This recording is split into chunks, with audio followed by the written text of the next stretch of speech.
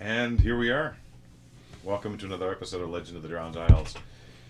Uh, homebrew 5th ed D&D game, uh, which is my fault if it's bad, uh, my player's fault if it's good. How about that? Uh, built in a homebrew world uh, called Omesha, uh, a world spawned out of my random brain. I've had too much coffee today, which is very interesting. I'm Mark the encaffeinated one. I'm the DM host uh, for this particular session and for this game. Uh, around the table, I have my players. Let's let's hear from them. Hi, I'm Jody. I'm going to be playing Clark today. He's the half-orc fighting rogue, and uh, in full swing. Uh, hi, I'm Marie. I play Alzara, the uh, half elf, or she's a full elf. I've, I've been playing different characters this week. Uh, She's having an identity crisis at the moment. But yeah, yeah, the the wood elf druid who is probably going to be very emotional here in a minute. Uh, my name is Pat. I'm playing Kujaima, also known as Ironbound, the uh, tiny little kobold ranger bard rogue version. Wow. Wow. My character feels so basic by comparison. Hi, I'm. I'm playing Zacchus, half elf wizard. Uh, and uh, hello to the Computer King. I ran across him in a, in a stream last night. Apparently, he's followed my stream this morning. So I am not ironically over caffeinated. I am accidentally over caffeinated. Um, I've been restricting my caffeine lately so I can get a better lift when it happens. Apparently, it's working really well. All right. Shall we get started? In the previous session, owns, which is O V V N S. Uh, uh, Pat, can you please expand that acronym because I can never really. It's the order of. I don't have it now that I'm not playing Amrun.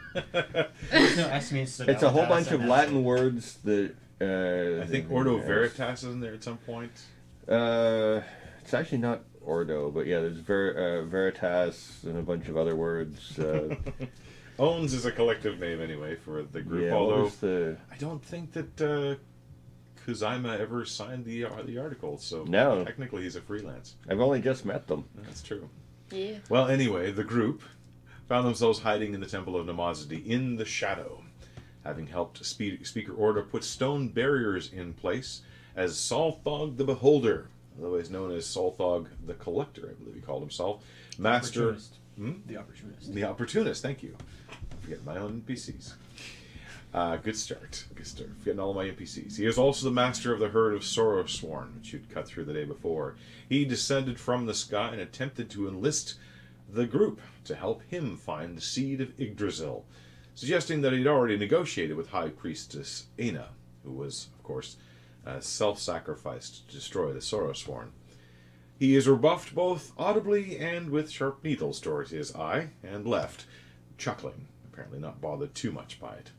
The group retreated further into the temple to recover from the battle, Alzara in particular taking time to study the amber tree statue with a walnut seed center, and discovering a ritual engraved on the walnut seed itself that involved burying the seed and invoking it when an enemy approaches. Orda, that is, Speaker Order of the temple, attempted to tell the story of the wall of Namazdi in this temple, which told of the foundation and corruption of the forest now known as Festering, with a strange female figure at the center of the forest struck from above by a streak and growing more obscure as the panels go on. After resting, the group decided to set out for the Grove. Martin and Agatha chose to stay behind at the temple, uh, but told them to watch for three upright stones as the marker that they are near the grove. After traveling for a time, however, they discovered that festering had apparently grown further over the bank of Greybrook, almost obscuring the stones. So the group tried a direct approach, hacking and burning away at the thick, thorny vines and gnarled, interwoven trees of festering before them, but were confronted by three dryads. A thick skinned, distrustful one, who they found out was named Terrace, a lithe one who seemed to glide from vine to tree branch as if they grew beneath them, named Florus, and a third one who remained hidden, whose name they did not hear at the time, but since then I will actually say that has been introduced as Radix. The Dryads seemed to judge them, in particular questioning why, questioning why Clark, whom they referred to as a Reaper, is there. After convincing them of their sincerity, the Dryads opened up a pathway through the thick forest toward a hill, and then led them through an opening in the stone to a large underground garden, the heart of the grove. Within the grove, light danced around the room, reflected and refracted by crystals in the walls and ceiling, illuminating a large collection of thornberry vines, ripe with fruit. And as a reminder, the only fruit and non uh, festering vines that have been seen in this entire realm of shadow. Uh, from within the vineyard trundled a halfling, Bernard Cotton. He seemed amused to have visitors and welcomed them in. The dryads clustered around him protectively and lovingly. And I have a note here, not unlike cats, actually. After a moment of vague familiarity, Elzera decided to look closer at the grove. Floris led her toward the center, where, in the uh, in the middle of the light and bound and wrapped in thornberry vines, she saw an, a familiar shape she did not expect to see the intertwined metal ring of her lost fiance, the twin to her own. Which, in fact, you actually have the ring as a, as a prop Yes. to show people. So this is actually a ring from a local artist. Uh, it's twigs from the St. John River. There you go. So, as we open, um, why don't we begin? Why don't we begin with the rest of you, gathered in the central area, um, I've wandered off. As usual. Uh, normal has has decided to take a closer look at the trees and plants. Understandable, especially given that there has been so little in the days since you traveled in the shadow. Uh, there before you are two of the dryads, one standing behind Terrace with the thick, almost bark-like skin, with crossed arms, kind of watching all of you suspiciously. You find she lingers a little bit longer on Clark than the rest. Uh, the other one, uh, more or less curled up on the side of this crude stone chair in which Bernard Cotton looks uh, rather amused to see you all. He's offered you some berries and uh, will make some tea later on. But he sits around looking at you.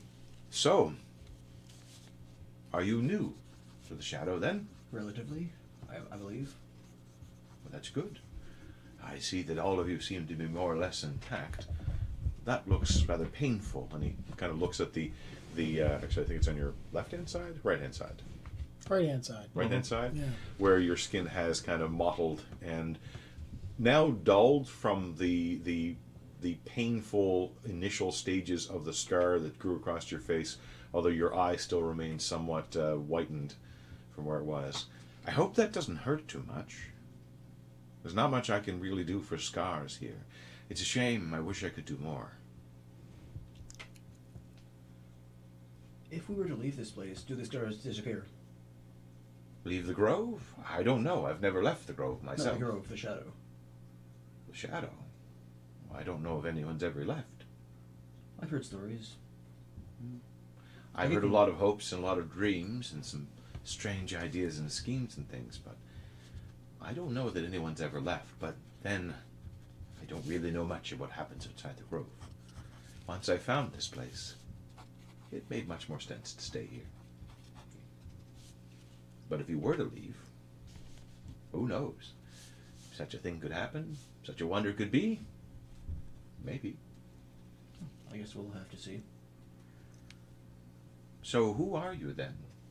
Uh, there haven't really been introductions so far, uh, but I assume that if uh, these friends of mine trust you enough to let you in my presence, they don't feel you're a harm to me, which is okay by me.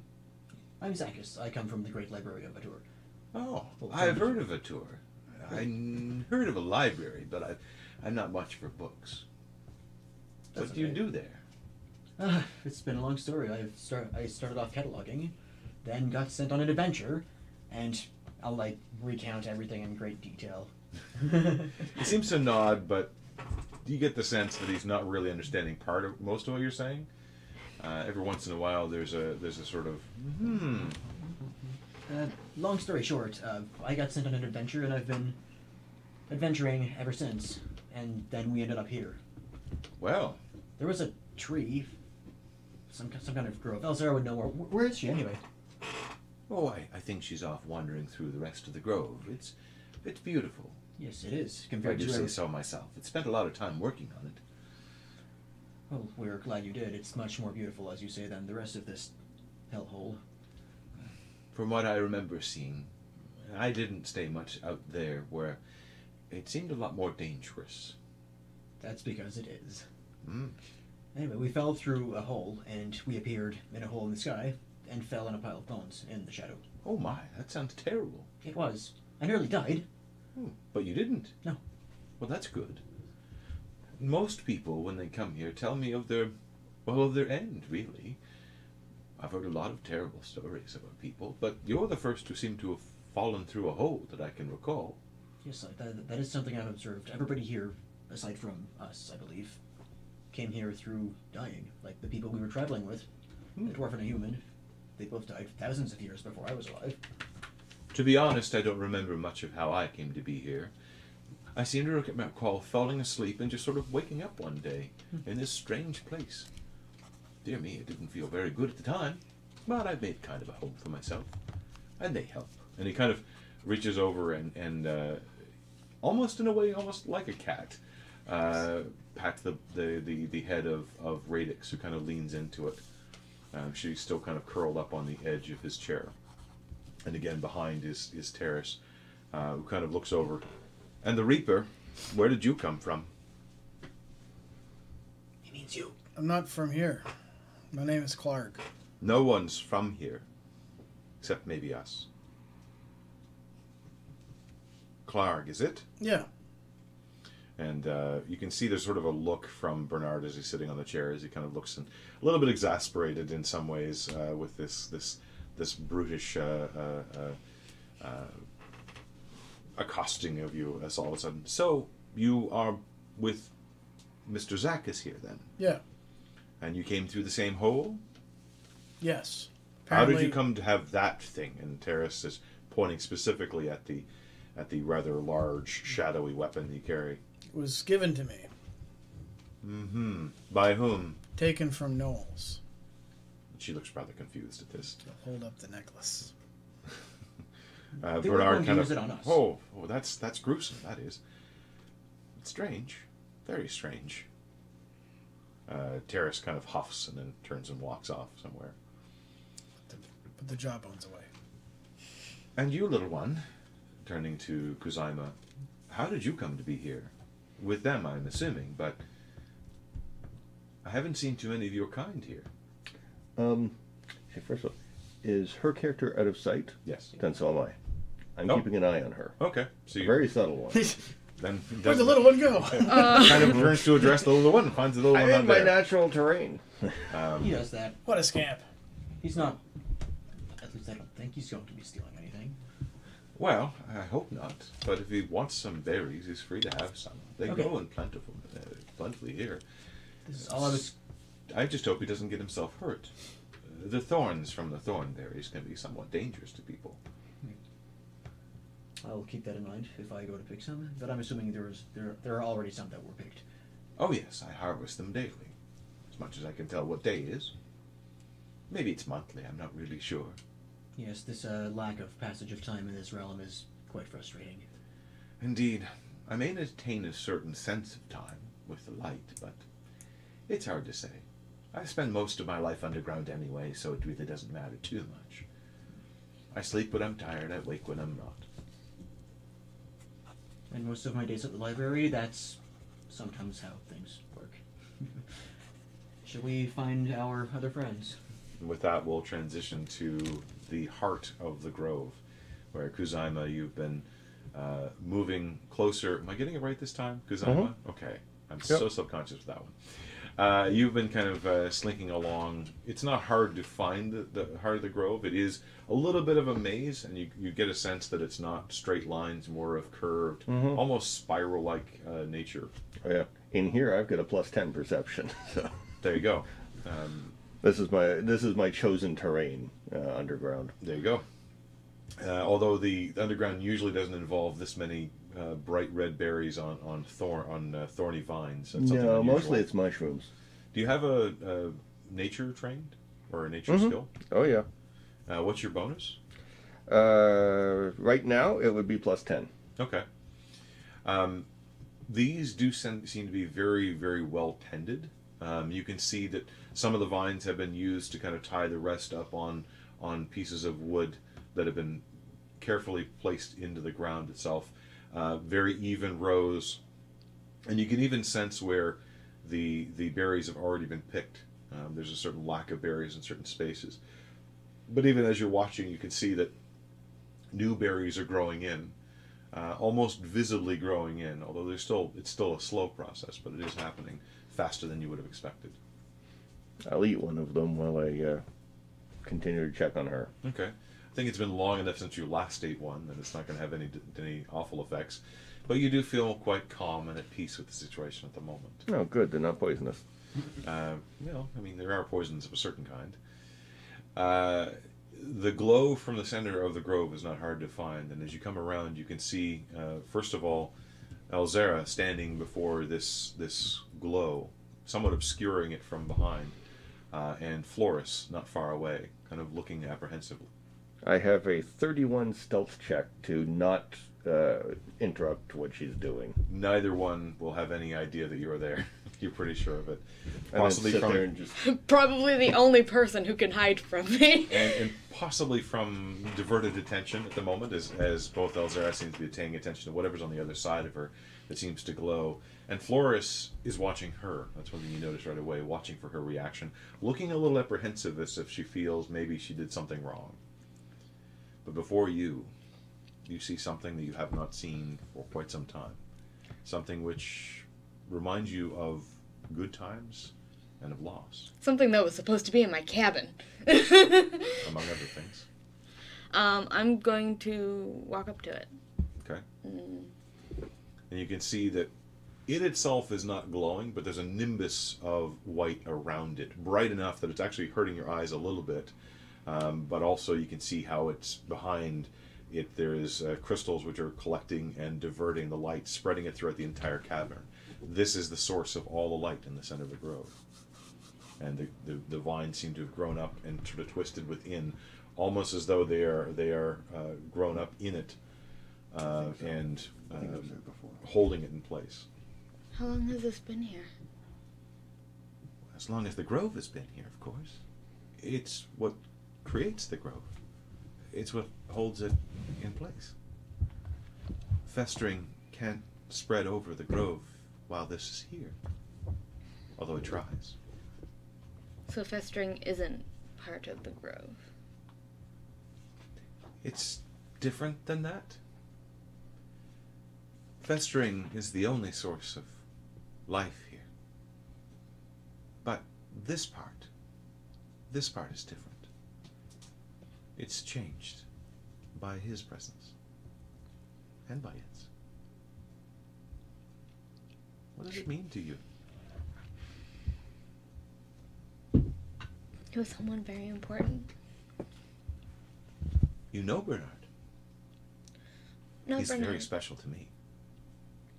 Him. I point at the ring. That's. She looks at the ring and looks at you. I'm holding mine. That's not a person. It's a. It's a ring. Yes, but the owner of the ring. It's Bernard. It's his ring.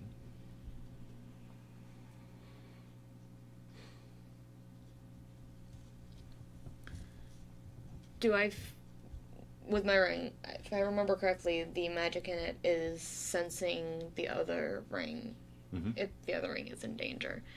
Do I feel like it is definitely the pair? There's no mistaking that feeling, but something's strange. You feel it, Mhm. both here and far. Interesting. I don't know what is going on, but that is definitely the pair to this ring. May I see it?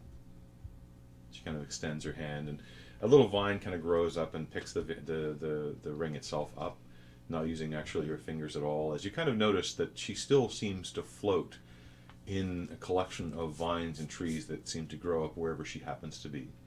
Uh, the little vine, as it grows through, a little little flower appears on the other side, kind of holding the ring, and she holds it up, kind kind of holds it and turns it a bit so it sits the same way as the ring up there. And you see your ring start to glow in a similar nimbus of color and light as what's there. Ooh, it's very pretty. It is. But what does this mean? I don't know. And she kind of brings it back down. The, the flower gently folds inward, kind of holding the ring there for you to take it back. I, and I do. because it. Bernard is not the person who should be in possession of that. Oh, why not? Because that rings, ring belongs to someone named Riordan. And I forget his last name off the top of my head because I haven't written it in a very long time. Uh, but yeah. As the GM goes, I'm pretty sure I wrote that down. Um, Myth. Yeah, yeah. totally. Um, I call him Riri for short. I do. um, notes, notes, notes. Description. Hmm. It's in my long sheet, not. I didn't put all of that in there. Anyway. I feel like it started with an N, but Uh, Anywho. I, will have it in a moment. Elzara says his full name. Um, she kind of cocks her head uh, in a sort of curious, uh, uh, curious expression. I don't know if I ever had the right, the right name because I realize it's not in my notes either. Oh, look at that. I have it somewhere, and I, I'll find it when I get home. I don't understand. It seems like it's his ring. It reacts to him. But he's not who you think he is. No. So, where's the person that you think owns the ring? I don't know. He died 12 years ago. 13 years ago now. Forgot that the years changed.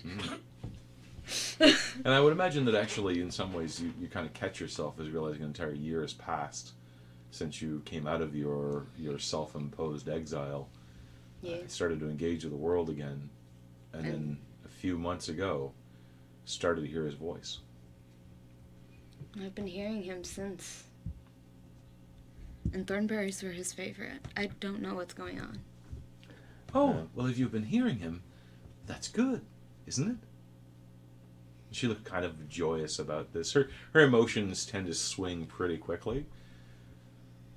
Uh, Kujaima will just slowly enter your vision so he doesn't startle you. Uh, just, well, kind of from down here. But uh, I'm like this far from a tree. um, your loved one, could he have been reborn? Ooh, that sounds exciting. It's happened to me many times. At least I think it has. I don't really remember. Some of my people believe that when someone leaves, they come back in the next one born. Not all people believe that, but we know that people get reborn down here in some strange way.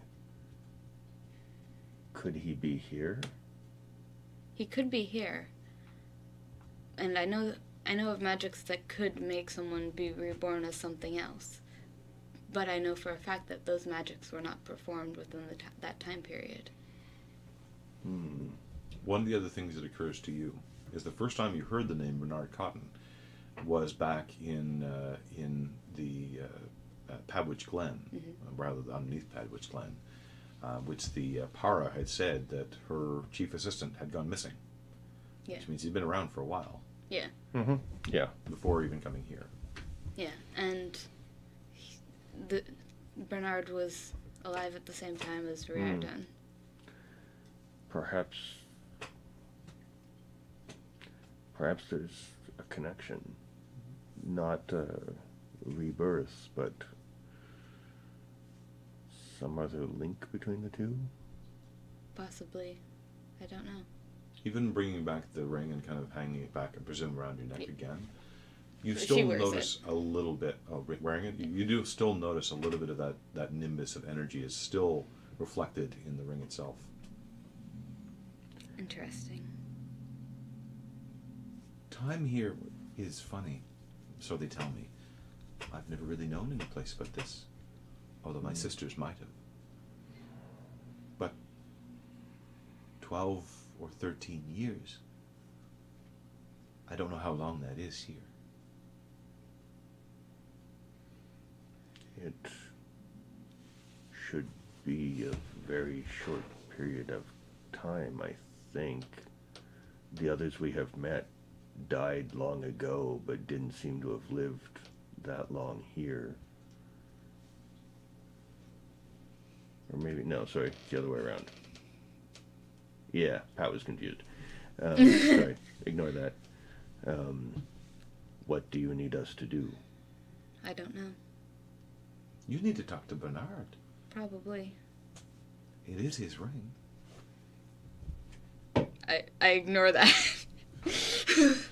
it's not. um. It's probably the best idea right now. And I look at the thornberries over there. This is too much coincidence. They're vibrant and strong, ready to be picked at any moment. In fact, Floris kind of extends out a little branch that wraps gently around one of the berries and just sort of pulls it off. And eats it.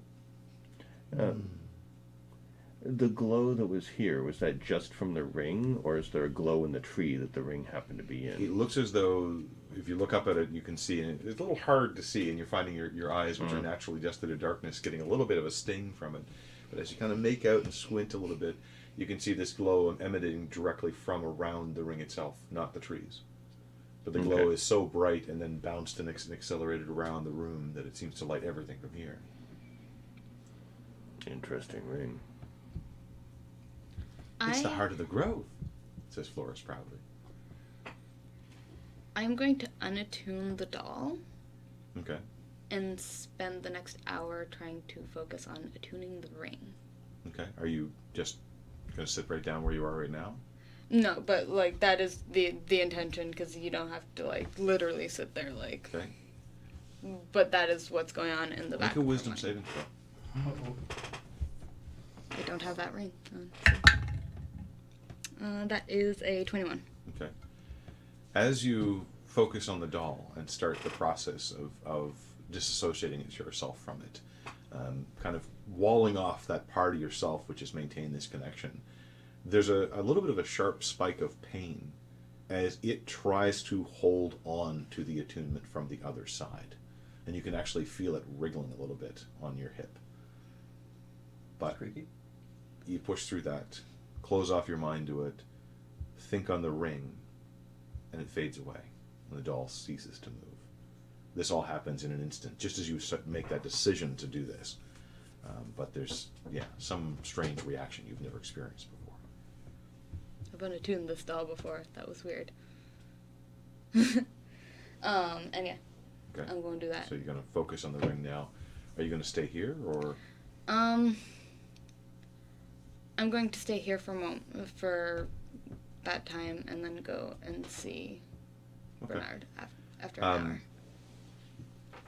Floris is kind of looking at you, but since you're not really doing all that much, she proceeds to start pulling more and more berries, gathering up in a a woven uh, basket that seems to appear on her side just from the, the vines and things she, she kind of crafts it.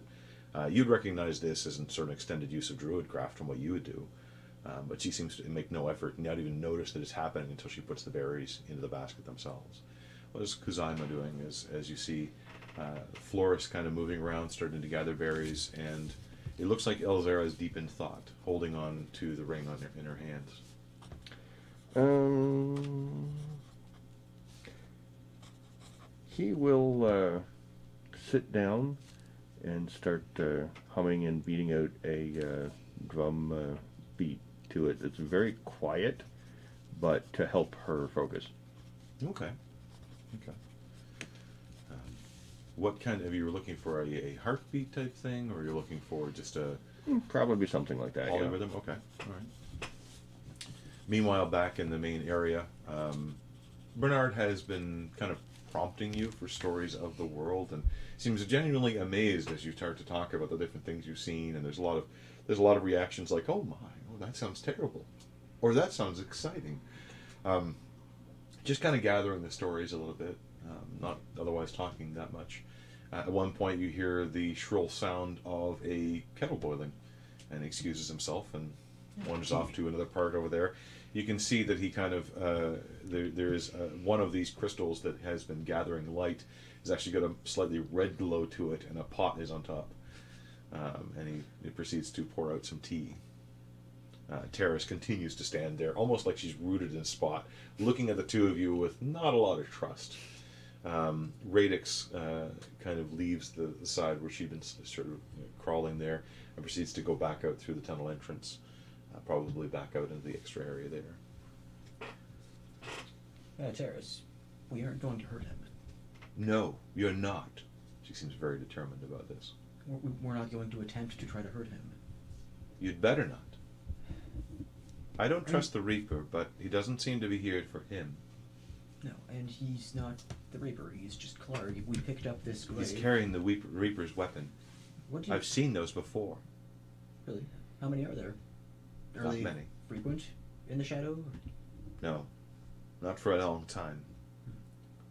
Not since, well, before I was born again. And when were you born again?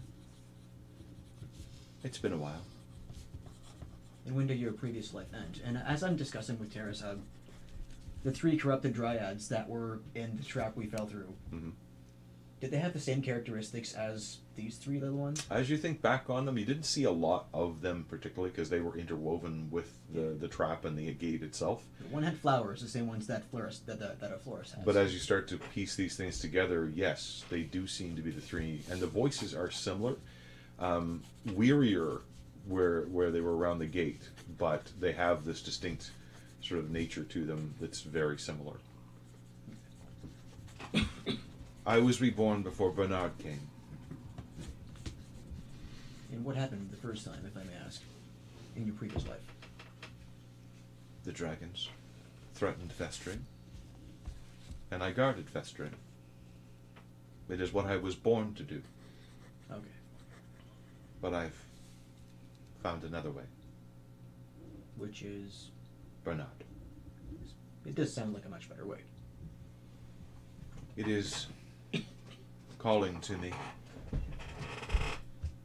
It reminds me of memories I don't have, of better times. Were you ever a part of the world that's not the shadow? I don't know. It's often good. That's fair. That's fair.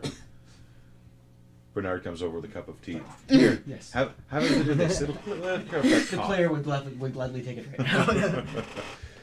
As he offers both of you a, uh steaming mug of uh, made out of, of stone. It looks like. Clark will pass. Oh, are you sure? I am, but thank you. Uh, make an insight check. Sure. Do you? Uh, no. Four. Okay. He just sort of smiles. Well, I'll put it here in case you change your mind. It's very good. I'll, destri- I'll uh, describe in more detail the trap we fell through, and mention that there were three corrupted dryads in this trap. Similar There's to make an insight check as you say corrupted dryads. six, eleven. Eleven. Um, there's a, a little stiffness that appears in Terrace when she sort of hears the term corrupted dryad. Um, just a, you're not quite sure, but she reacted a little negatively to the characterization.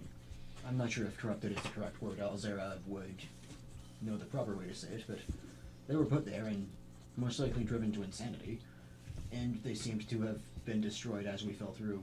And Does that ring a bell at all? there's a, an increasing and much more obvious sense of her rising in anger, but it doesn't seem anger towards you. It's sort of she's staring off into the middle distance, and just sort of imagining this, and just uh, involuntarily kind of whips out both arms, and you see large thorns spin out towards the the rock and embed in the rock. My kind, our kind.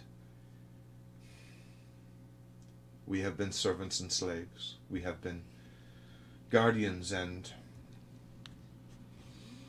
protectors. There have been those who have forced us to do things that we did not wish to do. But when we are reborn, we have another chance to do something different.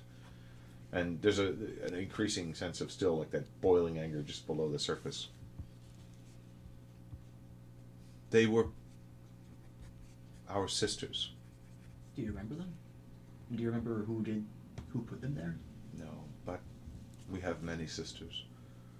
Not all of whom still. Not all of whom still live here, I think. Not all of whom still live, and not all of whom have found.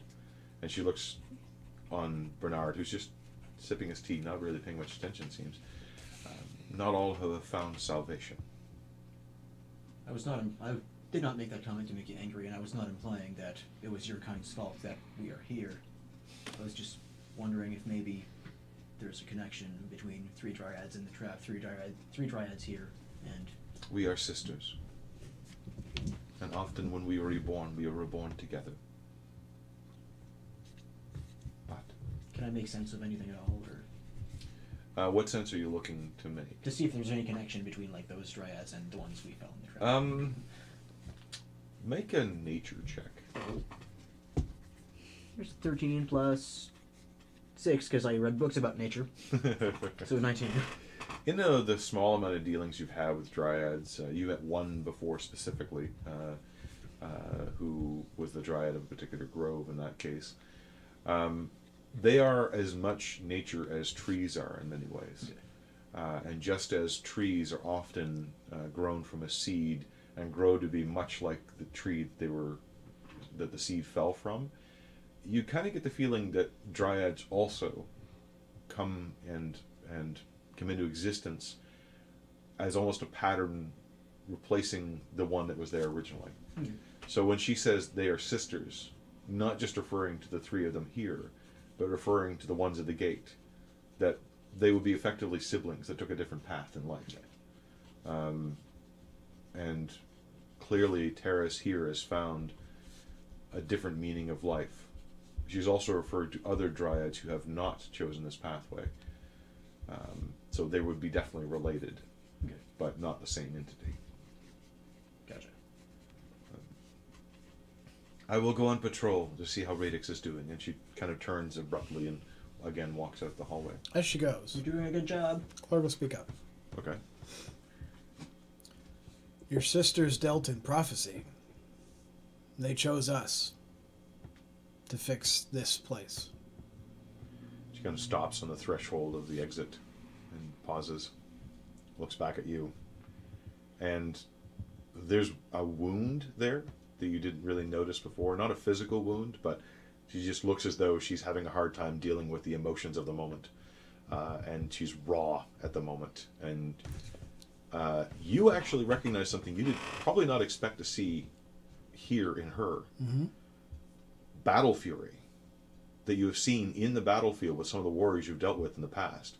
People who just put their frenzy at the edge of their being and thus gain tremendous power, but at the same time lose self control, lose uh, uh, em- emotional control in some ways. And you see that in her there. Um, and sort of biting through her response. Like a Um, few steps back. May they have chosen correctly and being found the hope that we've all missed. And she turns quickly and runs at this point. If it makes you feel better, he didn't have the Reaper thing when he came through here. Did you catch that? Anyway. Not really sure as the, the sound echoes through the hallway. Well, Bernard kind of looks a little awkwardly at the two of you. So you've had quite an adventure then. Yeah. Hmm. Several. You're here to fix the shadow.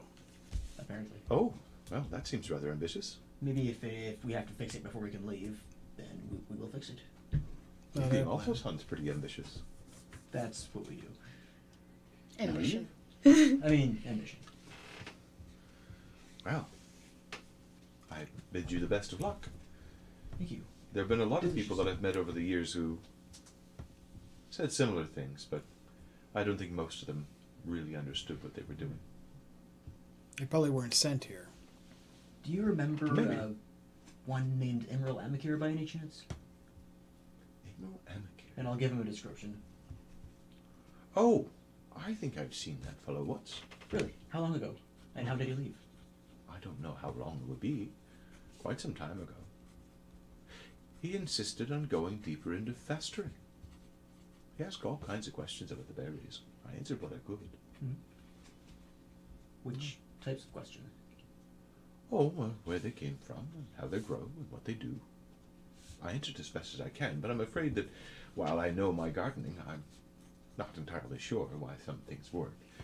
The things just sort of grow for me here.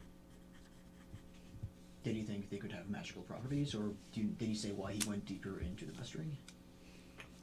Oh, I'm not exactly sure why. He didn't really tell me a lot of what he wanted, but we had many long conversations about what I knew about the festering, which isn't really all that much.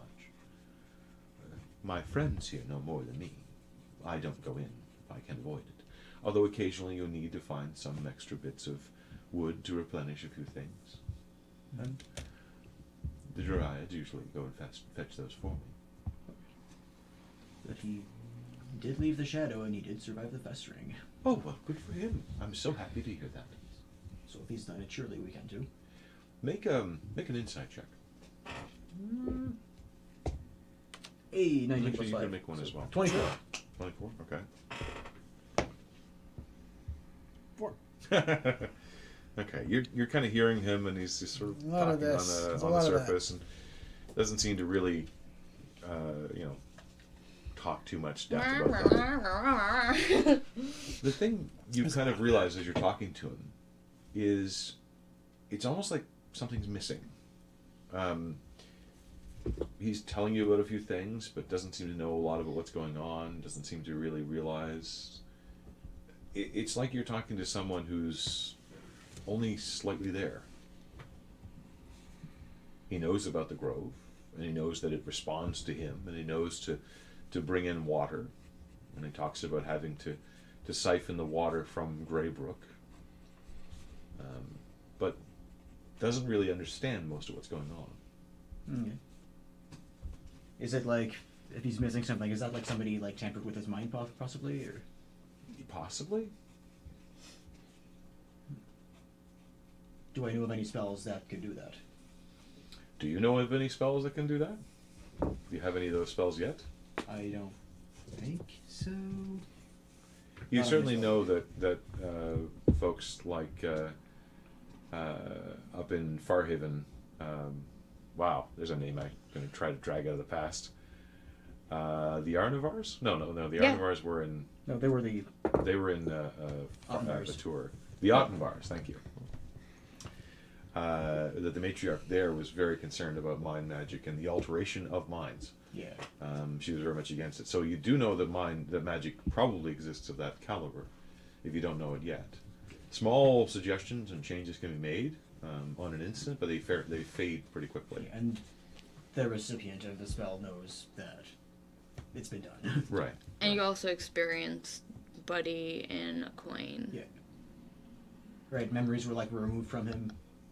Oh yes. Yeah. Memories of the shadow. Actually. memories were blocked of him, Okay. but yeah, but yeah, more or less. Yeah, man, so many people from so many eras. That's that's that's a good that's a good callback. I appreciate that. All Did of the people and all of the, th- the strength. Did uh, Emerald cast happen to cast any magic on you by any chance? Um, well, I think he cast a few things, trying to figure things out. He didn't try to harm me or anything. At least Oh. just, I don't think he was harming. On you specifically, on your mind. I don't know. What sort of things would I be experiencing? Nothing much, but if I don't know how to do it myself, but memories can be erased or Oh. modified. Well, that sounds horrible. We are Maybe not almost necessarily. nothing more than our memories, aren't we? Mm-hmm. I agree. But maybe, what if something horrible happened and he blocked it from your mind so you could live a happy life? Well, Or he is a s- pretty secretive fellow. Maybe there was a secret that he didn't want getting around and he could have removed it. Of course, this is all pure speculation. I don't know if I would know that. Hmm. I would like to know why he went into the festering, and hopefully we won't have to do the same. Oh well. He was looking for something. That's what he did say. There is a pathway. But he, he didn't say what he was looking for. Would it have been the heart of the forest? I don't know. Maybe. What's the heart of the forest? Uh, no question to the to the DM. That's what he called it, right? Um, I mean, that's what a The speaker. Uh, Called s- yeah, the speaker called it that. I believe also Salthug referred to it that way too. Uh, but certainly on the on the memories of it, that uh, the speaker told you that was the the heart of the forest, that feminine figure at the center of the forest. Question: uh, Does this guy have like a mantle or something where he puts trinkets and stuff? Yeah, there's a couple of of, uh, of stone shelves that have been kind of carved out a little bit. Clark would like to take a look at that stuff. Okay. Um, yeah, as you look over, most of it is is tools that are made out of stone. Uh, you do see uh, a stone bowl and a, uh, I forget what they're called, mortar and pestle, basically used probably for grinding the dried leaves, to turn Right. into tea. Um, few other little trinkets. Um, you see a pencil. It seems kind of out of place. It's worn down quite a bit, probably half the size it was before, and very uh, crude nub on the end. Um, not much for for other things there really. Um, trying to think what else he would put on a shelf. Um, there's a smaller version of one of those crystals just sort of sitting on its own, right there on the shelf. Is there something Uh, in particular you were looking yeah, for? Clark's looking for uh, something that looks out of place, like a specific trinket of some sort, probably something about yay big that looks out of place. Okay. And if he finds such a thing, uh, he's going to try to look at it through the lid of his right eye. Make a, an investigation check. Sure. Just kind of wandering around. There's a little bit of a pantry there around the the uh, heating stone. Another four, uh, eight. Eight. Uh, most of this seems like it was made right here. Okay. Um, there's no uh, there's no books or anything like that. There's nothing really written down, despite the pencil that's there. Okay. Um, there are a pair of, of shears, like pruning shears, that are there that couldn't have been made here. There's no way they could have refined the metal that that well. They look like they're high quality. Uh, he'll take a look at those, and then uh, if they don't bear any fruit, he'll uh, he'll kind of wave himself out and head into to the uh, clearing where the others have gone. Okay. They look to be mundane. There's nothing particularly special about them, other than the fact that they shouldn't be here. Do they smell funny? Uh, you're gonna Yeah. pick them up and take a sniff. Um, they smell thickly and sweet, uh, as if they have been exposed to a lot of thornberries, uh, and a lot of the sap probably built up along the edge. Looks like the edge is not that sharp either. It hasn't really been very well cared for, um, but it, it looks very heavily used. Okay. Uh, Clark will look to uh, Zacchus, kind of, and he'll head out the door. Which way are you heading? Out, Out the, out, out the tunnel out, way and, back and out kind into the- of figure out where everyone went. Okay. You following uh, Radix and Terrace, or are you following into deeper into the grove? Because there's the tunnel back to the surface, and then there's deeper into the grove. Knowing Elzera, probably deeper into the grove. Okay. All right. We'll say that enough time has passed that you've actually been able to focus on this. Um, I don't know if an, it's an attunement item or not, but it's a thing that she's Mm-hmm. that has crossed her mind and she's doing. Floris at this point has, has gathered quite a large basket of berries, and then just simply goes off to probably deposit the berries. Um, the the drum beat continues from uh, from Kuzaima. I'd probably be standing and holding it kind of near the other ones. Okay. After about an hour, you feel a bit of warmth on your hand, and you can see now that your ring is also glowing similar to this one. um, and a stronger sense of both the ring and two different presences. One nearby, but faint. The other one quite a distance away. And it's familiar in both cases.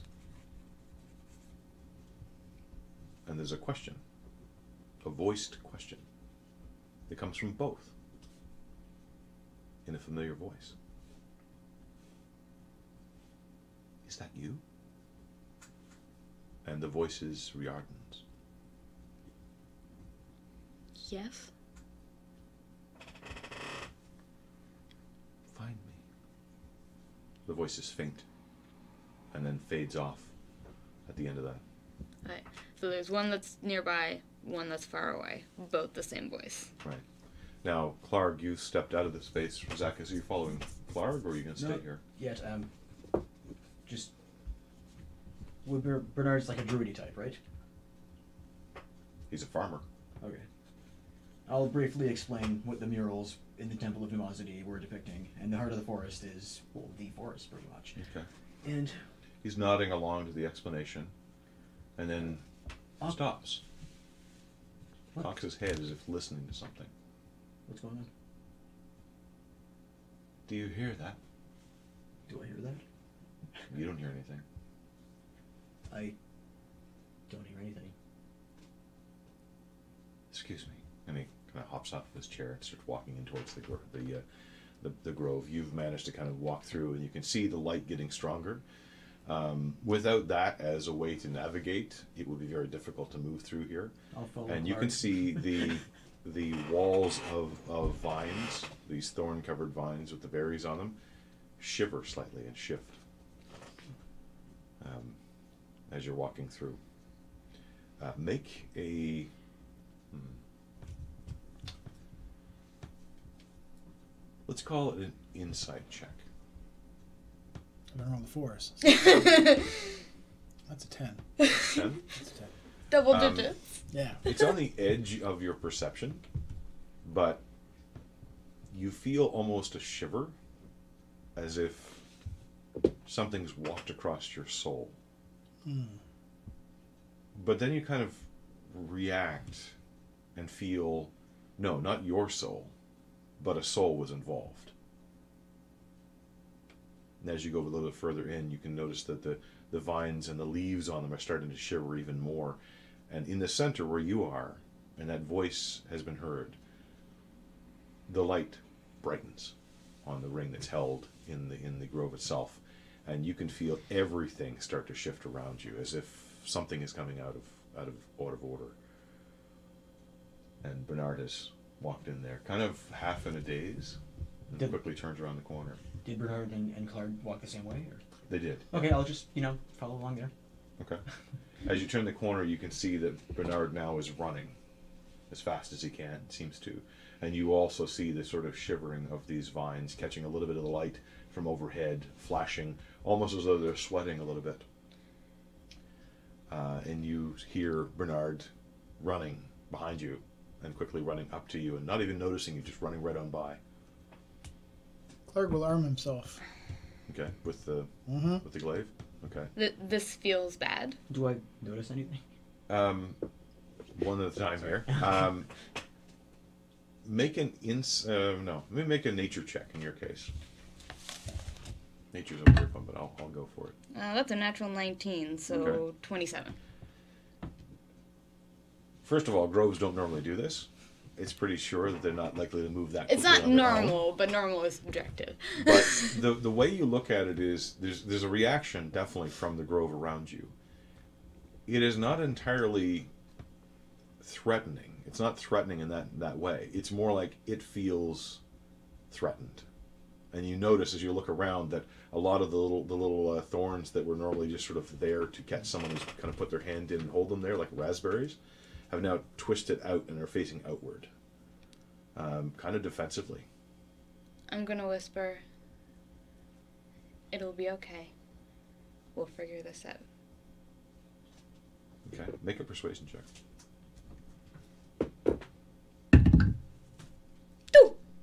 Okay. Um, you don't quite believe it yourself, and unfortunately, that seems to translate in your in your voice as you can. Oh, I totally y- y- don't. Your voice is ever, ever so you know. We will figure this out. Um, and the light in front of you dims slightly um, as you hear uh, now. Not making any attempt to to hide at all the the rapid footfalls of uh, a short halfling uh, who's running by you at the moment. I uh, get my uh, uh, blowgun ready just in case. Okay. Other than that, I just sit there watching and drumming and humming. Okay. It feels threatened. And you hear from behind you uh, Bernard's voice, not the usual calm you've come to expect. What, what's gone? What's gone wrong? What's Uh, happening? I would have my hand with the ring on the tree. and you can see him kind of run up and, and kind of almost out of nowhere there are stairs that look like they were just part of the, the vines themselves as it kind of bounds up on those. And you can see him reaching out and looking at your hand and he looks very confused. Who who are you? My name is Elzara Moonshadow. Amakir.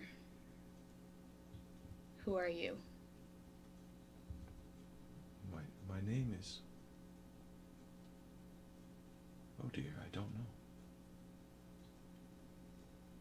who am i? And he looks at you with confusion. Um, you hear from the vines on the sides something that startles you a bit actually as you're kind of ready as you see uh, emerging out of the vines as if walking through them uh, the form of Terrace uh, with her arms up. Spikes are are pointed outward and she looks ready to fight as she emerges into the space. What's going on? What have you done to him and she stop, stops towards uh, Elzera This ring react? belonged to someone that I cared about, but apparently belongs to you. It's it's my ring. It's mine. I I've always had it. Always? Does the name Riordan ring a bell? No, say Make, make an insight check. Yeah, one. Um, he turns away from you and kind of looks at the ring. Um, there's no way to tell. He turned away from you at that moment. Who, who are we? I remember.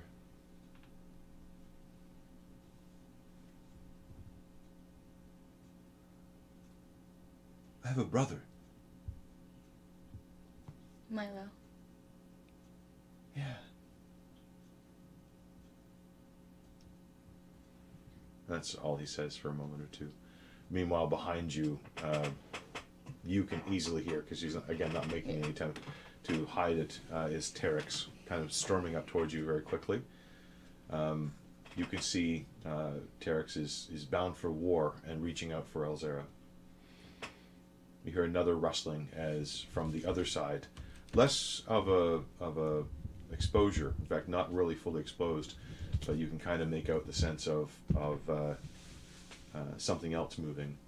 Um, perhaps Radix staying again as she was before within the the wall of vines.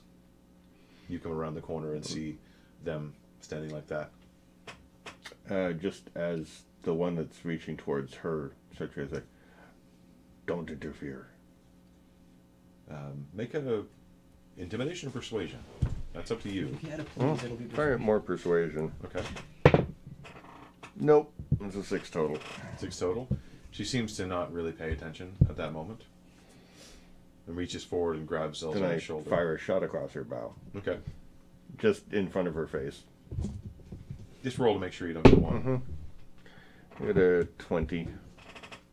Yeah, you can pretty much put it wherever you want to. Not a natural twenty. Uh, what 20. direction are you firing it towards? The the light or Right across her eyes okay? to catch her attention. Thing. Uh uh All Sort right. thing.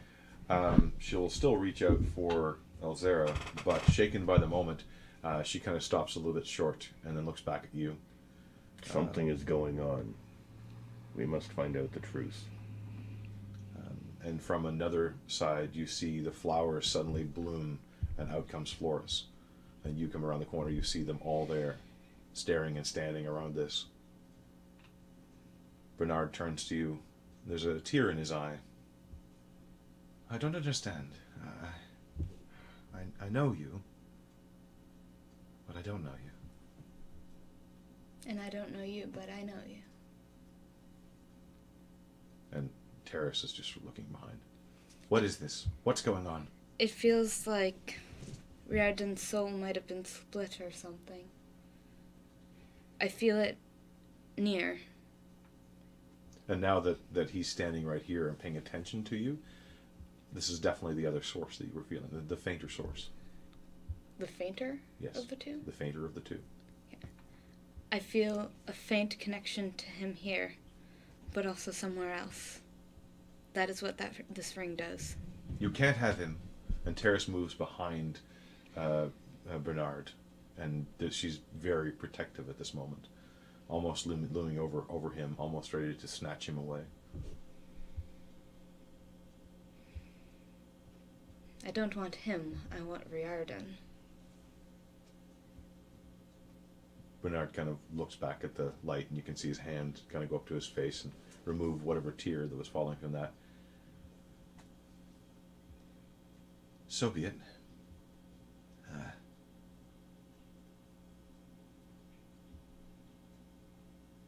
where did you? Where did you feel him? He's in you. No, not, not, not just here. You said another. Very far.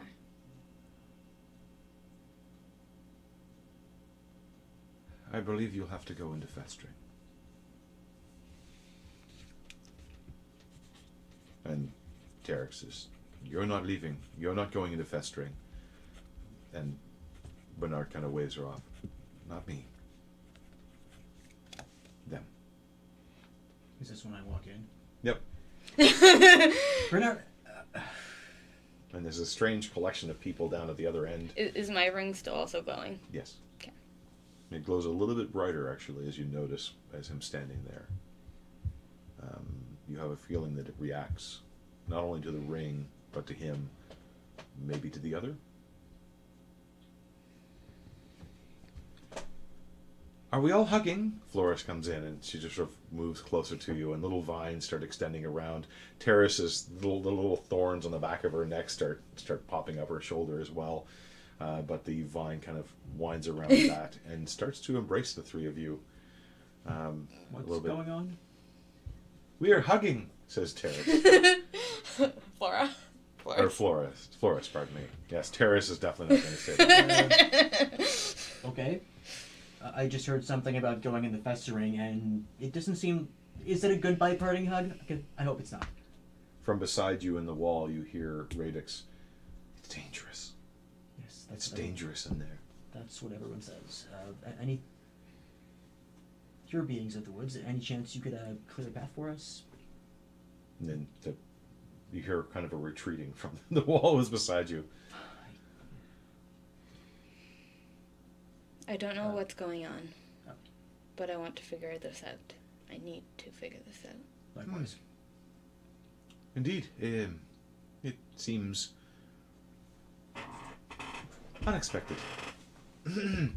Did you always have an interest in thornberries? Oh yes. For years. Can't really remember when it started. You're sort of there one day. Hmm? Hmm? First thing I think I ever dreamed of. You know.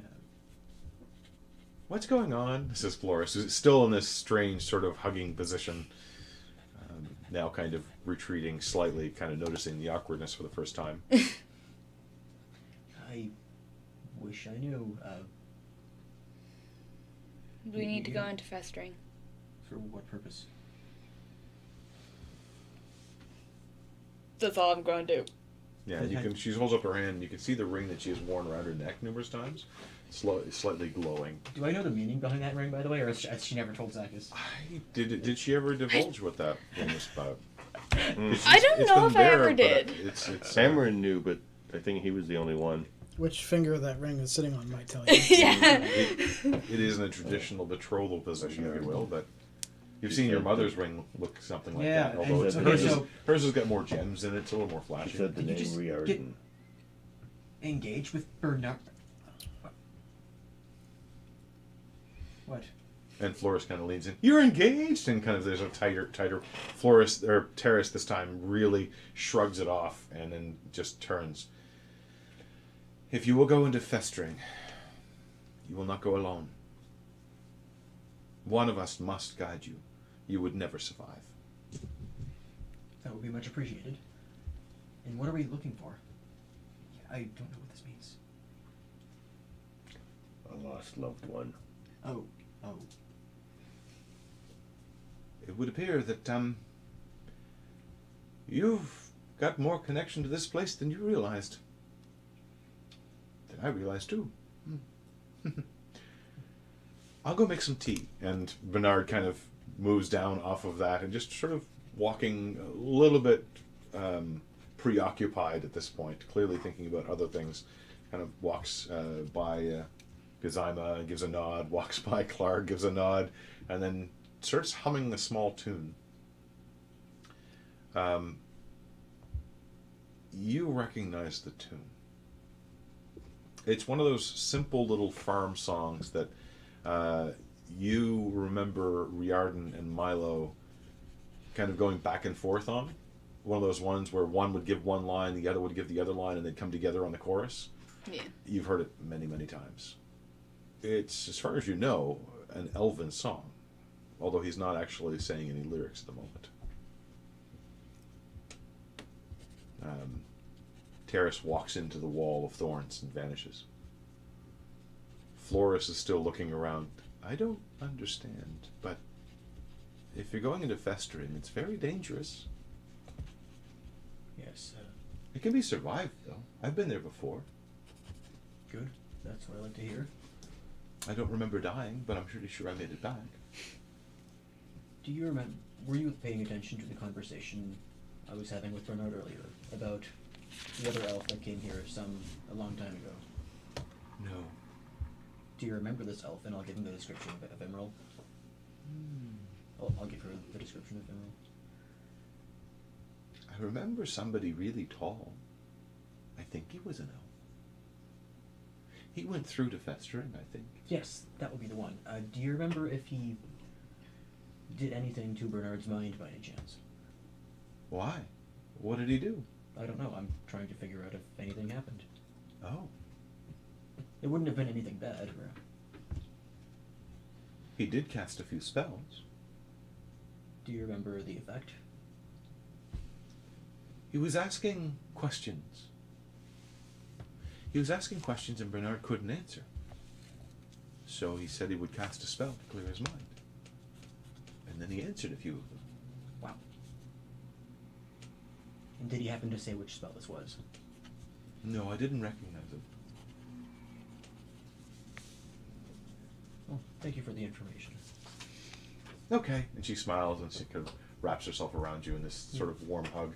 You I only like get- there's only a couple of little little points where the the thorns maybe not quite angled just the right way. So it's a little bit of like pins and needles occasionally, uh, but not meant or doesn't seem to be meant maliciously. I There like would be a Florence, nice too. little heel turn to have Floris turn uh, malicious all of a sudden. Um, Does the grove still feel threatened? it seems like it's relaxed. Okay. Um, it's not actively moving anymore, and you can kind of see the the thorns just sort of hanging a little bit softer and, and lighter, almost as though whatever spur of chemical energy that the plants had in them is, is now being dispersed and then regularized. They're still there, and they are very apparent. It's the nature of a thornberry bush anyway, but they don't seem to be shaking as much. Okay. Um, I am going to turn to the others and say, I need to do this. She needs to do this.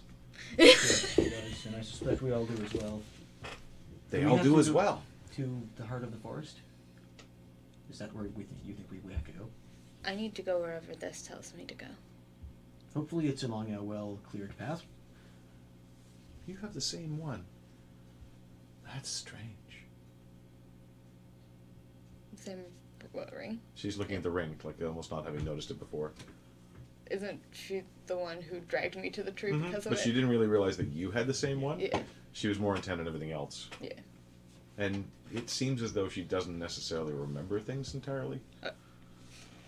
Things she doesn't necessarily deem important anyway. Until now. Plant brain. Kinda. um, I think we should try to figure out what we, we do from here. Mm-hmm.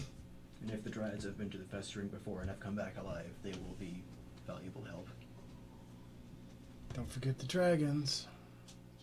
They're very scary. Oh, I know. We, we've seen one or six at the They same fly time. over here all the time. We encourage the grove to grow, to hide even more. I don't know if it's working. And you remember having seen the what appeared to be festering growing having grown out a lot further, even over the markers that the others had noted before.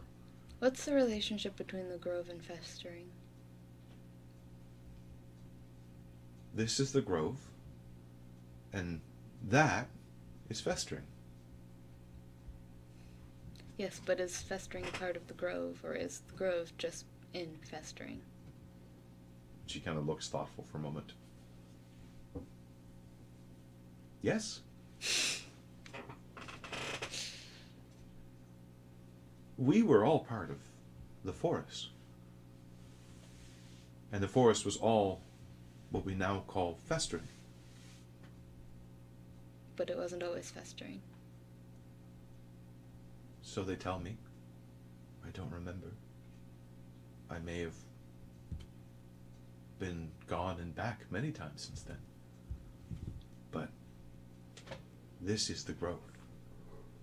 And with Bernard here, it's different. And she kind of smiles, just sort of thinking of Bernard, probably. Cold, cold, cold. um,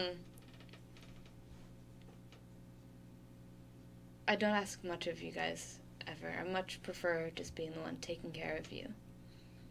But I need to do this. Go with you. We'll go with you. Mm-hmm. Yay! I'm so happy. And she kind of Yay, when we re- get back. reaches out a little bit, and you can see now the, the snaking vines trying to encapsulate all four of you, even though you're actually some distance apart from each other. Boot knife. Are you going to try to cut it? No, just yeah. Just what? What is this? What is this? Stay out of the way. Uh, he means no harm. He's just not Oh. a very sentimental type. I always Uh, mean harm. And I'll, I'll just like awkwardly do the side hug, you know. Yeah. Awkward side hugs. well, I'll get ready. And she backs into the uh, the wall of, of thorns, leaving little flowers popping in her wake. Wait. Okay. So, uh, w- are there any books about the festering, Who would write them? Bernard? On what? I counted. Paper. I counted one pencil. Right, and this pen, which nobody must figure out I have. But nobody in the shadow. I mean, not not, not my computer. Right? it's just a sort of weird, a weird. And I have this pen that none of you should know about. Because I'm assuming that would fetch a nice price in the shadow. Oh, who knows? Wait a second. I'm looking at the pen and the ink. Mhm. I'm gonna take like a small scrap of paper and write something on it. Yeah, it writes. Okay. I'll Uh, as it. you watch, the paper seems to grow and age, and get a little brittle. Nothing lasts here. All right. Don't look in the bag at the other books. You'll just cry. I'll look at them when we get back. So there you are, gathered in the, in the heart of the grove. Are you going to stay there and plan, or what do you wish to do? I think we should plan. Yes. In the distance, you hear the uh, the shrill whistle of the kettle once more boiling. Um, I, I still. You still have your cup of tea. Yeah. I just kind of imagine this coming into frame suddenly. It's like nobody knows where they came from. You still have the cup of tea. You're the Um, ultimate Englishman. You always have a cup of tea somehow. I'm gonna go up to one of the thornberry bushes and eat a thornberry Okay. because I need it. Especially this close to the, the, the heart, they're very fresh, and you, you pluck off a nice uh, a nice one. It is a little bitter, as they are a little bit bitter on their own, but you feel calm. You feel a wave of calm pass through you, and as you watch, you watch the, the berry, another one grows in its place, That's weird. and the the effect is not dissimilar to good berries actually. But unlike your good berries, these don't wither and die immediately. Interesting. Very interesting. So she's stoned. Uh, what about the rest of you? Waiting patiently. Okay. Mm-hmm. When Bernard gets back, uh, There's no indication that Bernard is coming back. it, it he seemed like he'd left very awkwardly and literally said, "I'm going to make tea," and you heard the kettle uh, uh, whistle blow. Uh, but for the moment, you seem to be left alone. I think we should have a plan. yes, which should include not dying, hopefully. We need to know what we're looking for. Is there any way you can determine that by focusing on the ring? Or do we I'll, just I'll try to see if focusing on the ring gives me a general direction or something. Okay. As you look on it and try to push aside the flood of emotions coming at you right now, because every time you look at it, at, for a long time it had been uh, a keepsake, a memoriam, something to ground you to the memory. And now it seems to be grounding you to a possibility you hadn't even considered. But as you look upon it and kind of focus, you do feel a general pull. And it's difficult to orient yourself based on the direction you you have here, but it does seem to be going off, if you will, to the west, which would be the general direction. Of, of Basically, that way. So I'm looking that way, and I'm remembering the mural, the mural we saw in the Temple of Themosini, Mhm. and the path we took to get to the grove. Mhm. Which way is that way pointing? Keen mind. yeah. Um, yep. Yeah, keeping keeping that in mind and keeping the directions you turn, you kind of work it out in your head. That's the heart of Festering. If you haven't traveled too deeply, then Greybrook should be a few hundred meters that way, flowing across your path. So we're going to have to cross Greybrook as well. Yep. But yeah, I'll let my compatriots know everything the DM just told me. okay. Yep, you fill them in on, on you know having, and this is something rather remarkable that that's that maybe it's because of the recent events, maybe it's because of coming to the shadow, but weirdly, Zacchus has this pinpoint knowledge of where things are in space. Uh, even with no real guide, guiding guide marks, he could tell you exactly where you were. Uh, in fact, you can point and say, "That should be Ember Skull." Over there, that's the uh, Wither Withergate. Down that way, and you kind of pinpoint that should be the Emerald Nest, and Festering is Here. the large expanse in front of you. But if, if you're looking from the way that she's holding out the ring and saying that direction, it would be dead center of, of Festering. All right. Not entirely different from the direction you saw the dragons traveling. I wonder if the dragons are also after whatever we're seeking. They were looking for something. yep. And Salhug said he was looking for a seed, and so were the dragons. Is that what he said? Yep. Race to the seed. Yes, it's very probably best if we do go along with you. Not just for safety, but to prevent the dragons or Salthog from getting their hands on whatever it is. Yep. So, what's what do you guys think we should do? Go to the thing, take the thing, kill everybody. I'm good with that. I'm also good with that, and even Terrace would be good with that, I dare say. I don't want to fight six dragons. Yes, stealth may be an asset. I'll save one for you. You can fight one. I don't want any of us to 1v1 a dragon. Yeah, they looked particularly scary. Uh, but can they penetrate the cover of the festering? They seemed to be having trouble last time they were here. From the description you got of them before, um, the brood mother is making her nest in feather in festering somehow. At least that's always the direction people say that she goes to. Okay. And you did see them crashing through the upper ed- upper edges of festering, uh, and using their breath to clear themselves a pathway. It did like replenish itself It did. Shortly after, though. It did. Yeah. I wonder if that's if that was the work of the dryads. That they could replenish the forest so easily. And could they make the trees part, or at least not attack us? I think that's the intent. Good. This gives me hope. And when they get what they want, they will close the gates to us, and we'll be right in the middle of it. When who gets what? When we get to the thing, Yes. and they don't like it, we are screwed Why wouldn't they like it? because they're forest spirits. We will probably want to take it. They may not like that. What if it's whatever's corrupting the forest? Hmm? I mean, we did see on the murals that something pierced the heart of the forest, and Yeah, then I this happened. They might like it. The dryads are pretty comfortable right now. What if they could be more comfortable? Uh, unlikely. No one likes change. Well, not everyone likes change. Well, we'll have to hope for the best then. Ah. Five dragons. Hmm? Five dragons. Yes. Six. You get one. I'll take five. No dragons would be preferable, but anyway. What How's does- everybody what feeling? does uh, Kazima think about the talk of dragons? Hmm? I'll do what I can to help them get out of here. Facing dragons is probably stupid, but who am I to tell them not to do stupid things? I mean, dragons are the ultimate form of a kobold.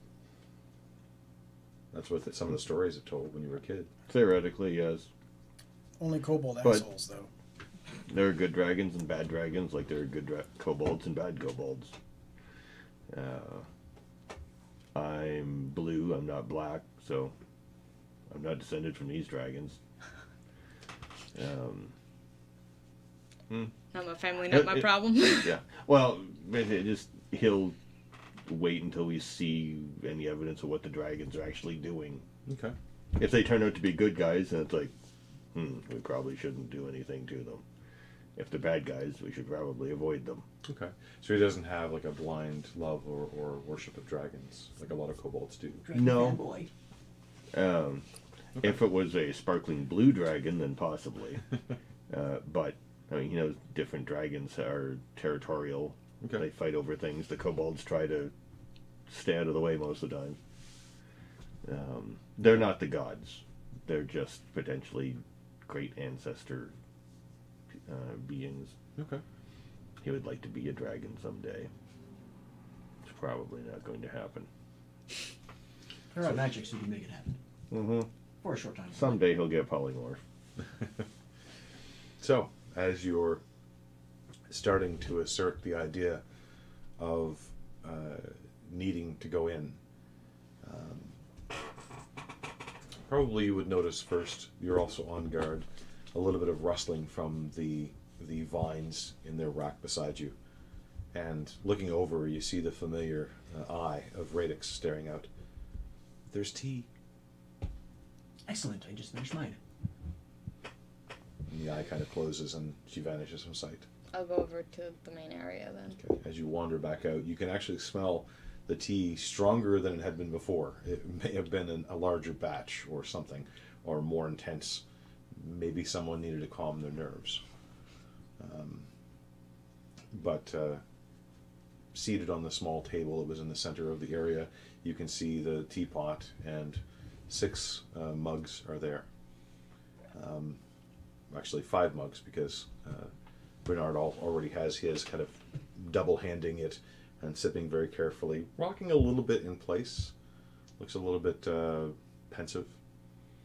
Um, and when you get there, Radix is already kind of curled up beside him, and actually has one of the mugs as well, but is not really drinking it so much as breathing it in, just sort of letting the aroma pass over her. And there's a there's a, a, a, a almost a look of bliss as her eyes half close, and she's enjoying it. You vaping. Uh, kinda, kinda.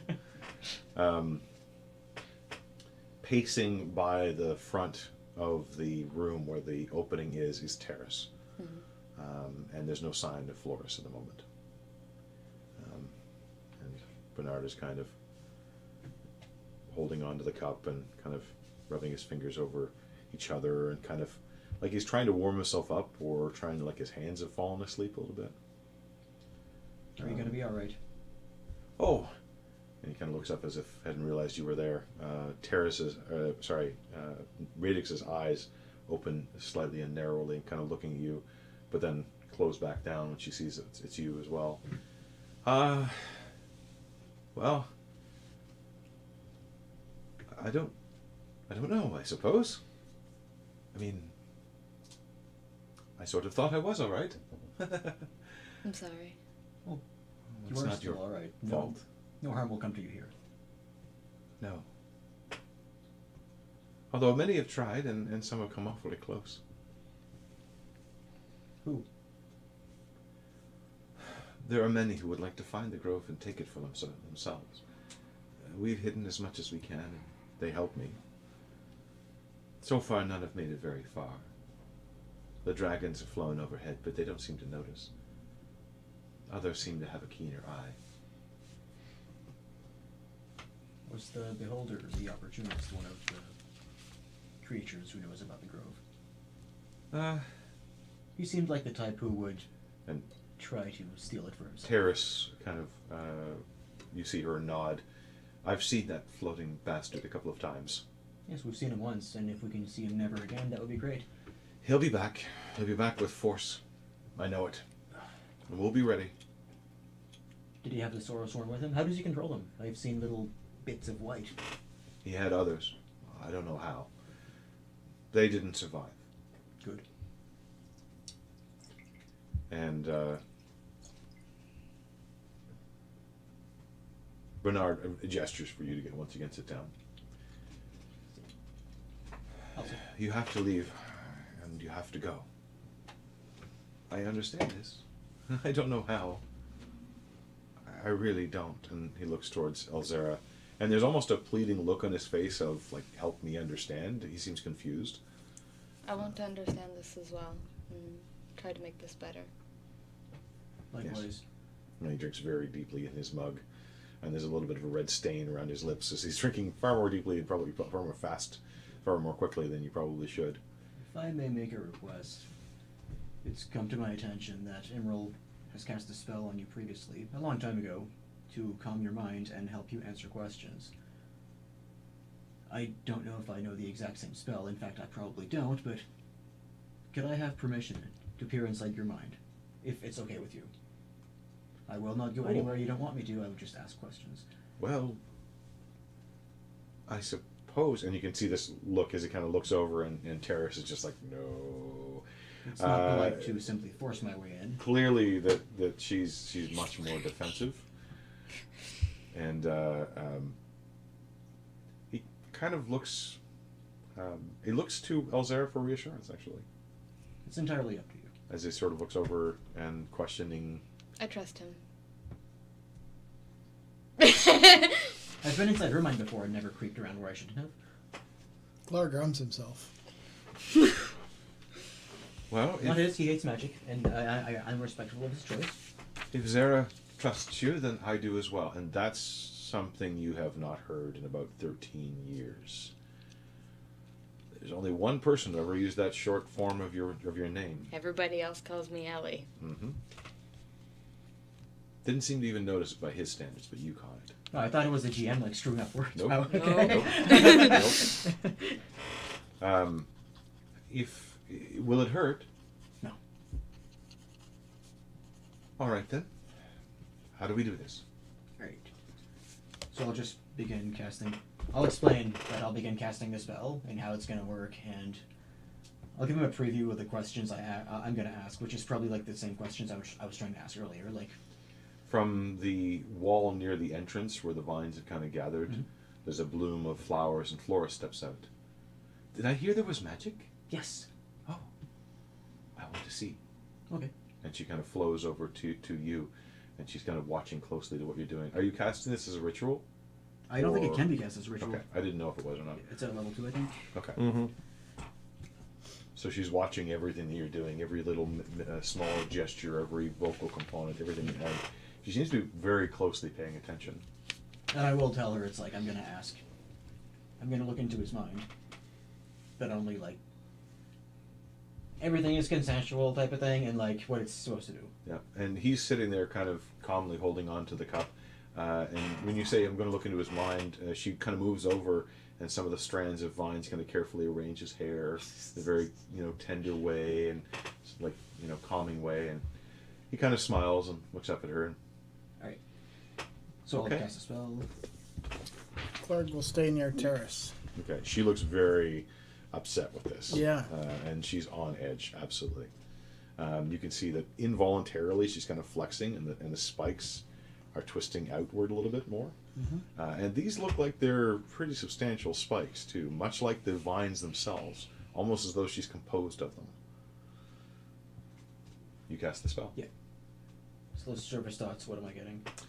Surface thoughts, there is confusion. Um, you get a, a sort of vision of Elzera, which is strangely muddied. It is not the vision of Elzera you see in front of you, but of one running, laughing, smiling, like a memory. But it, it doesn't seem complete. It seems to fade. Mhm. Um, there is a sense of duty, as in I have to get back to picking the berries. There's many that are ripe, and I need to make sure they're preserved the right way so they can get across the uh, the lands. There should be some people coming in sometime soon, and, And what lands are these? Is that is that the shadow or is that like the? it seems to be the present moment of shadow, um, and it's it's it, it's kind of the re- reverting to a routine, where it's like okay, here's where we need to uh, we need to, uh, uh, you know, get back to my routine. Okay, I got to make sure the barriers are picked. Got to make sure they're set up for preservation. Got to make sure the light is is is flowing in the right direction. So he's running through kind of what you gather is a, like a daily routine. This is what I got. We're do. running late. Uh, kind of, you know, it's got to make sure. Oh, there's there's some some new growth. I've got to make sure that's that's pruned back. So make sure everything is still in order. And there's a sense of, of holding on to the the uh, the routine that's established. Okay. For um, for uh, the Obrama Choco asked Elzera is a druid. Uh, someone in the chat room asked what Oh, class. yes, yes, I am a druid. Uh, although Gardner was a good close guess. Uh, I, I do garden. Yeah. And she can make some. And hello, observations. person in the chat. Thanks. You know, there, there you go.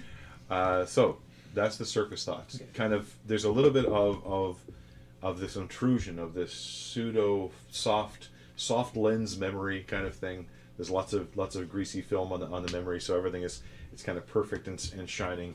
Uh, this beautiful summer day, you can see the bright sun shining on the uh, on the, the the hair, which has come a little bit undone, which is very unusual for her at this moment. She must have been distracted. Uh, as just sort of one of those wonderful memories, uh, and looking down and seeing the the uh, the elven hand holding on to Elzera's hand as well, confusion, and that kind of gets pushed aside for the no. I have to make sure that I do these things. This is the thing that gives people hope. This is the thing that brings brings happiness. This is the thing that brings contentment to getting back to his routine. So that's the surface. Okay. What are you probing for next? Probably more about Elzera. Well, I Okay, mean, so you're gonna follow that, wasn't- part of the memory, or that part of the Not idea? yet, anyway. Because it's probably like that's his personal life, and I said I wouldn't do that. So, um, think back to when Emerald was in this grove. Are you going to vocally guide him, or do you want to just try to push through mentally? Both. Okay. Because I want to, I want Terrace to know that I'm not like Okay. Make a persuasion check as you as you kind of push through. That's a 19 plus 0, so 19. Okay. There's a little bit of resistance, um, but you you kind of get the sense that he's trying to allow it. Yeah. And as you bring up the the name Emerald, there's no real reaction to the name other than you literally hear yourself describing Emerald, as in very recently he's recalling the memory that you had, Yeah. and by recalling that, there's a vague image that comes up, uh, and the vague image is a rec- recognizable. Uh, uh, recognizable form of Emerald, but it looks different. Uh, he look he does have both arms at this particular point, but you can see across his face there are numerous silver scars, almost like they were raked across his face at that point. Um, you can see that he's dressed in in rags. Um, you can see this desperate, wild look on in his eyes, um, and there are questions uh, and you kind of get this weird, uh, almost uh, uh, uh, inception moment as he's asking questions, not entirely unlike what the questions you were. What do you remember? Do you remember when you came here? Do you remember when you were brought here? What do you remember before? Do you remember the the uh, you know? Do you remember living before? That question stands out, Okay. but the responses are all confusion, as in I don't know what you're talking about. I don't understand. What do you mean living before? Um, there is a sort of like a peal of a bell happening at the same time, though. Like each question seems to be ringing a distant bell, quite literally in his mind. And uh,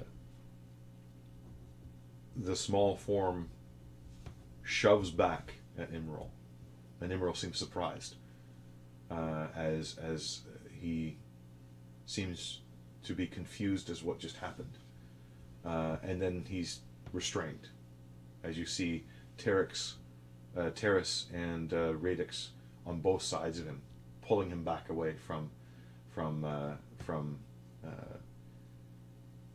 Bernard. Bernard. Can I try to figure out what spell he cast? Um, That Emerald was using to look in, in, to ask questions. Like, not entirely sure, but it's probably the same spell you're using right now, okay, but more forcefully. okay, um, as if something else was involved. Um, there is a flash of fire around Imral. And you see Radix and Terrace turn to ash. There's a moment of absolute confusion in front of, uh, in front foremost of Bernard's mind. And then the memory vanishes, leaving the routine. You Need to pick the berries. You Need to make sure they're clean. You Need to dry them. You Need to separate them. Back to that routine again. the routine will happen. I will not hold you here too long. Don't worry. Sitting there with this mug in hand, you can actually see that his fingers are growing a little bit white as he's gripping onto it tighter. What did I just see? It was Emerald. He was. It is. He was using the same spell, but he was more forceful, and I can fill you in on the rest later. I know you are antsy to get back to the routine, and And he, he looks over at, at job. Terrace. Terrace looks quite concerned about what's just happened. As he looks over at Terrace, he's confused because he literally just remembered seeing her be im- immolated. And there she is. Flashes from the past mostly. Uh, do you remember what Emerald was after? Just what you saw. And he, he kind of drifts off, and you hear, Was there anything about a seed? as you direct that question, the mind starts to react. Nope. But does not resist you. Okay. Um, the words, the was there anything about a seed, a seed, a seed, a seed, echoing throughout his mind, as if it's trying to find purchase, uh, bouncing around more and more fervently. You can see now that he's he sort of goes blank faced, and the cup in front of him is starting to droop. Radix right there kind of puts a hand under it and takes it as he just sort of relaxes entirely and stares straight forward. Um,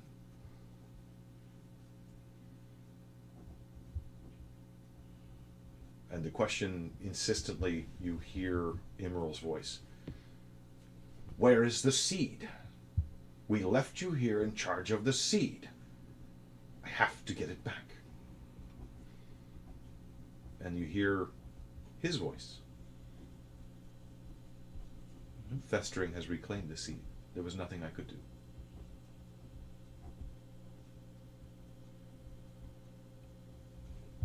I must go through, says Emerald. And you hear Bernard now seemingly to answer these questions, not unwillingly, but just unwittingly, as though he has no choice but to answer these questions. This feels like a different spell.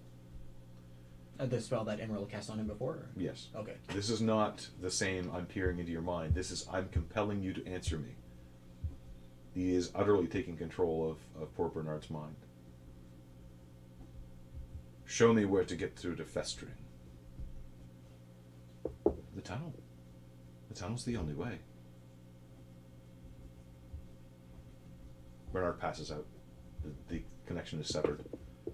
Radix reacts immediately, throwing throwing the mug down and kind of picking him up. I'll leave Oh, forward oh, and try and pick him up too. Uh, Radix is, is there. Terrace is moving forward to block you from from this, seeing, seeing as how you're the center of it.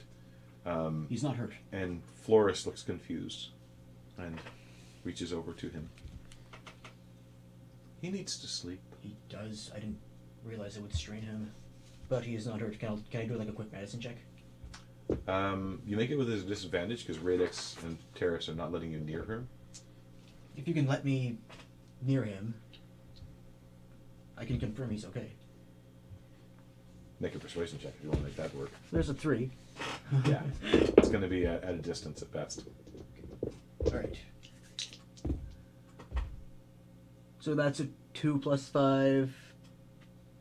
Medicine is seven. Seven. He's unconscious but breathing. He's probably not dead. He's breathing. He will awaken. And I can brief you all on what I saw as I And you was see peering you see mind. uh, uh, Floris extend a flower. It kind of buds over his face, and you see small little particles fall into his face. He seems to breathe deeper. He'll need to sleep now. And Terrace and Radix take him off to another alcove somewhere. Floris is staying with you. Please let me know when he wakes up, or if you need me to help with anything. There's a look that Terrace throws you, which, if it actually could hit, probably would hurt. Um, Floris is, is sort of, let's let him sleep. Uh, is a wizard. I hope I've used the right symbol. Yep. That's for uh, the Obrama Choco, the devil on the shoulder, as he's described, or they describe themselves. Um, he goes to sleep. Floris is with you.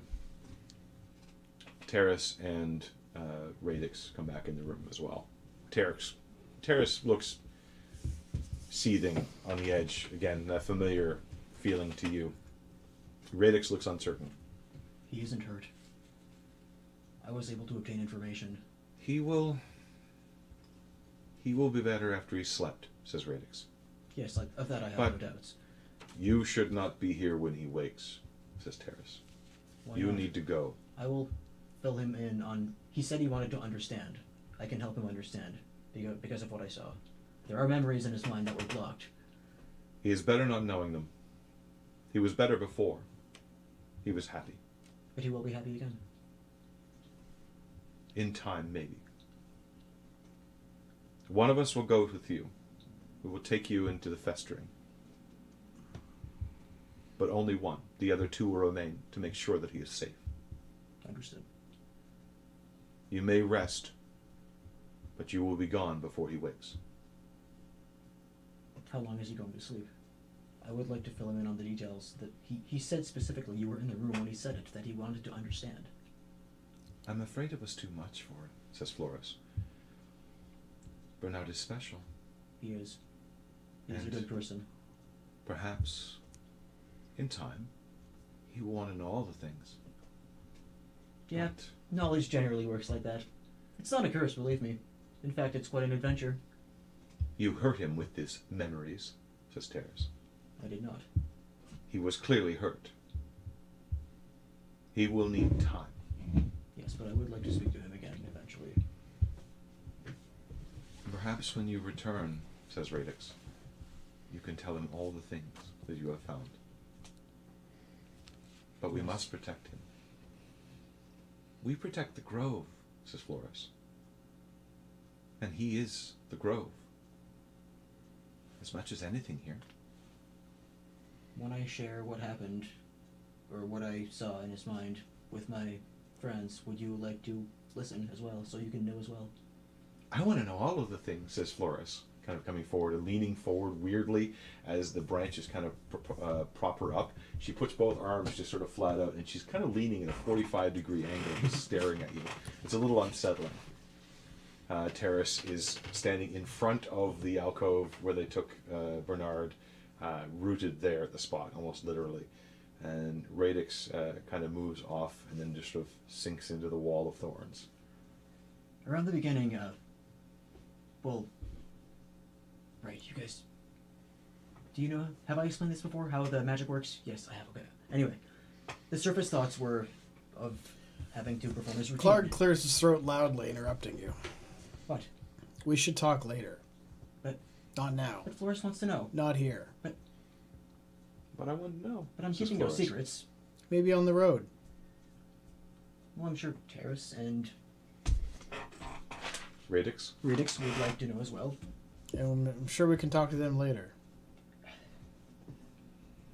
Well, I'll apologize to Floris. I guess it's going to have to wait. She kind of sighs. I know. I know. Put my hand on her. A vine kind of reaches up and holds onto your hand Yeah. just lightly. But when we return, we can discuss what I saw, what we've managed to retrieve, if we've managed to retrieve anything from the festering, and Okay. From the th- wall of everything will be thorns, okay. Bernard will be happy again. From the wall of thorns, Radix asks, and it's hard to tell even where the voice comes from. She's well hidden in there. Which of us will show you the way? And with that decision, I'm going to call for a break, so you guys can talk about it a bit if you want. It's clear the intent uh, from them is that two of them will remain behind, but Yeah. one of them will show you. Maybe Terrace can come with us, cause uh, oh wait no, cause she'd be the one to like get shit, like wreck shit, but she'd also be the one to like leave us in the middle of the forest. Well, I need a moment's pause. Um, if you are watching this live, we'll try to make it no longer than 15 minutes, uh, just to give ourselves a chance to stretch, get a little extra water, and uh, give these guys, if they want, a little uh, away from away from time to to chat a bit. So we shall return fairly shortly.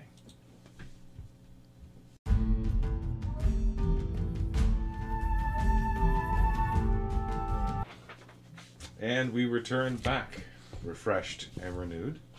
Thank you for joining us. If you're watching us live, thank you for watching uh, on the stream or uh, on YouTube later on, where all of those long pauses have been mysteriously vanished.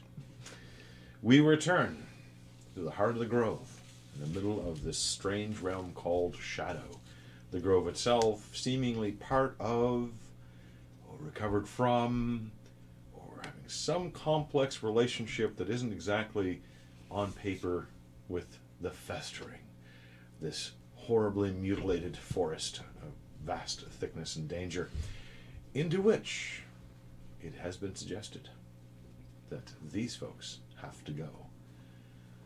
Now, they are going to have a guide.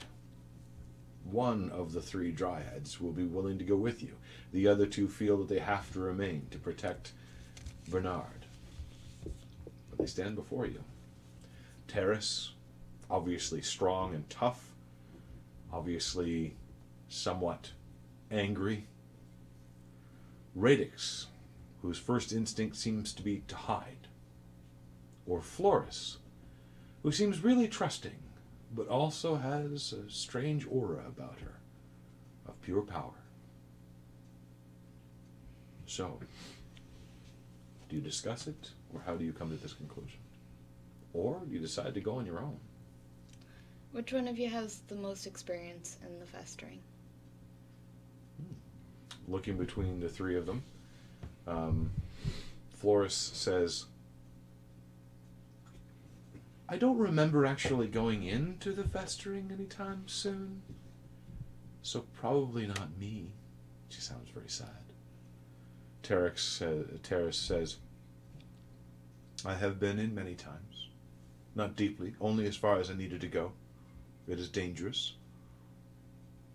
And Radix says, I have been many times. No one has ever seen me go. I picked that one.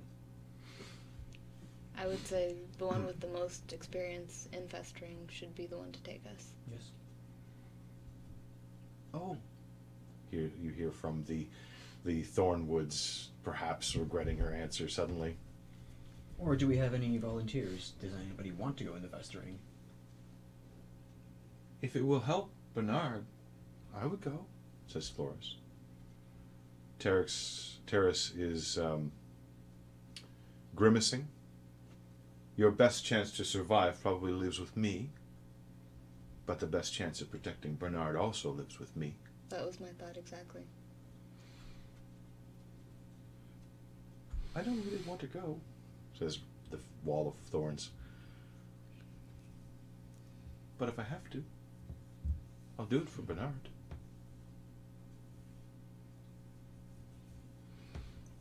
We need to get through without being seen. Radix would be good at not being seen, but could she also help us not be seen? I can help us not be seen. Same here. Okay. And I can guide us. I know the general direction in which to go. But having your knowledge of nature would also make that more efficient. Floris, uh, what was. When we first met, somebody, I won't stare at Terrace, shot thorns at me, and you sprouted some flowers on your fingers and made me smell the pollen, and then I felt better. Yes. Do you like my flowers? Yes, they're amazing. Oh. And uh, she extends her hand, and a little flower kind of appears on a on a vine that extends out from her hand, sort of pushes up towards your nose. To which extent can your flowers heal? Or A make little. people better? I only have so many flowers in a day, but I can heal. Hashtag spell slots. Yes, that could also be worthwhile. Probably. Does that mean you're considering me? Says Floris, suddenly excited. Possibly. I think that the experience would be an asset. Mhm. But also, I don't want to drag someone out who really does not want to go. And I look at the wall. What wall? Just a wall of, of thorns and vines, from which a small voice comes. It is very dangerous. I have not been seen, but I have had to take a lot of time. And I haven't been there since the dragons have been searching heavily. None of us have. Florist, can you defend yourself fairly well? We wouldn't want any harm to come to you, either.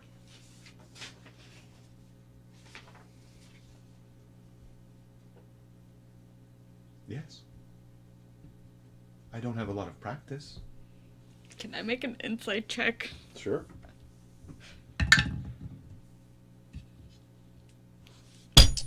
Ow. Oh. that was near the microphone. Sorry. Uh, insight. That is a 20. Er, sorry, no. Not 20. I um, 11, not 21. Math. As I realize I haven't written other, all the things on the sheet that I meant to. Um, Can I make an insight check too? you certainly can, yeah. Um, Is, Oh, she, 24. she seems really eager to go, but is she telling us the, can she actually defend Yeah, herself? okay. What you get is is uh, she would do whatever she needs to, that, you know, and she, you're pretty sure that she's very convinced that she can do whatever she needs to. Um, you sense that she's very convinced she'll do whatever she can.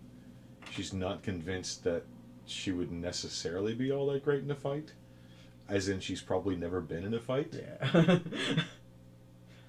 Um,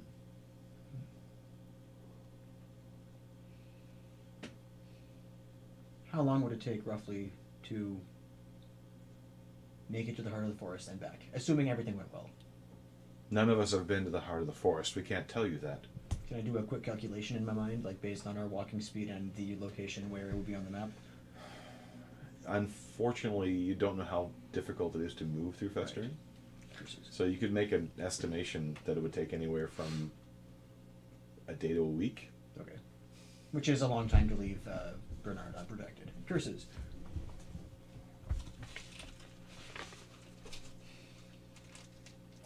Can we take a chance with Floris? She seems to be the most enthusiastic of joining us. And it's a very excited look of Floris looking back and forth between you. A couple of involuntary uh, flowers kind of spread along her back. She's looking. It's almost like a, a almost a, a, a cape or a rope that's a, a robe that suddenly appears. Well, You know my vote. what is it? I vote for the sneaky one. Seconded.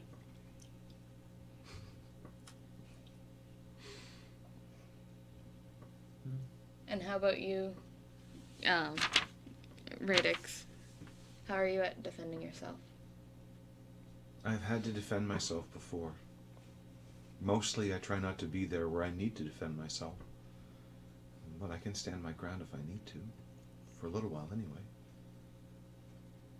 And you would have us helping as well. Of Don't course. worry, we won't just leave you to die. The ideal would be that we go, don't get, to, we don't have to fight at all. Yes. Yes. I agree. Festering is alive. It will know you are there. There's no complete hiding from it. That is true. it's Would more the forest- dragons I'm afraid of.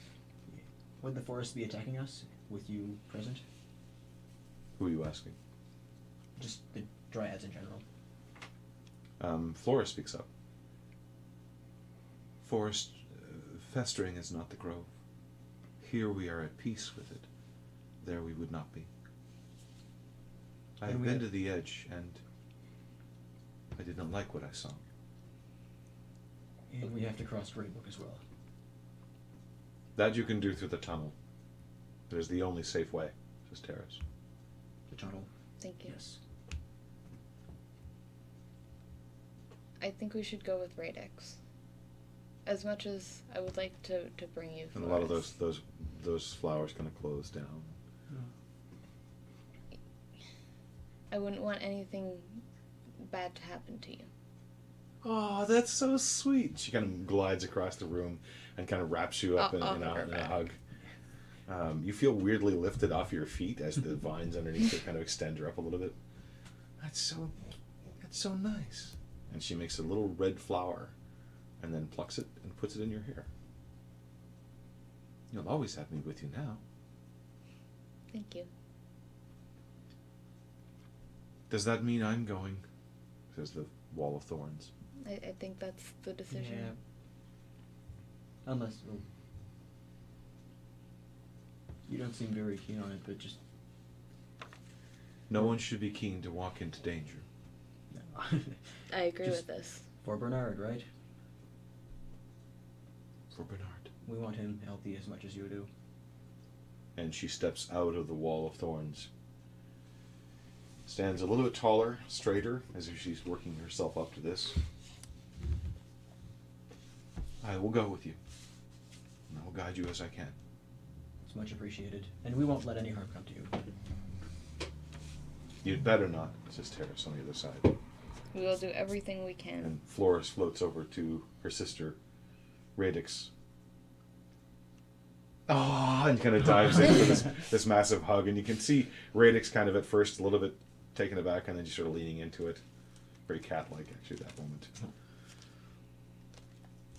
And I'll give you a flower too.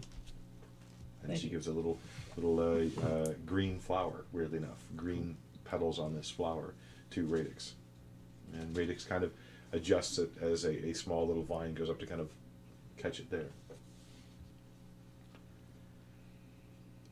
So you ready then? Yes. Yes.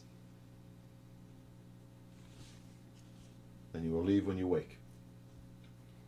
Uh, does Bernard keep any uh, restorative potions or any potions that can help us if we take harm or if we come to harm?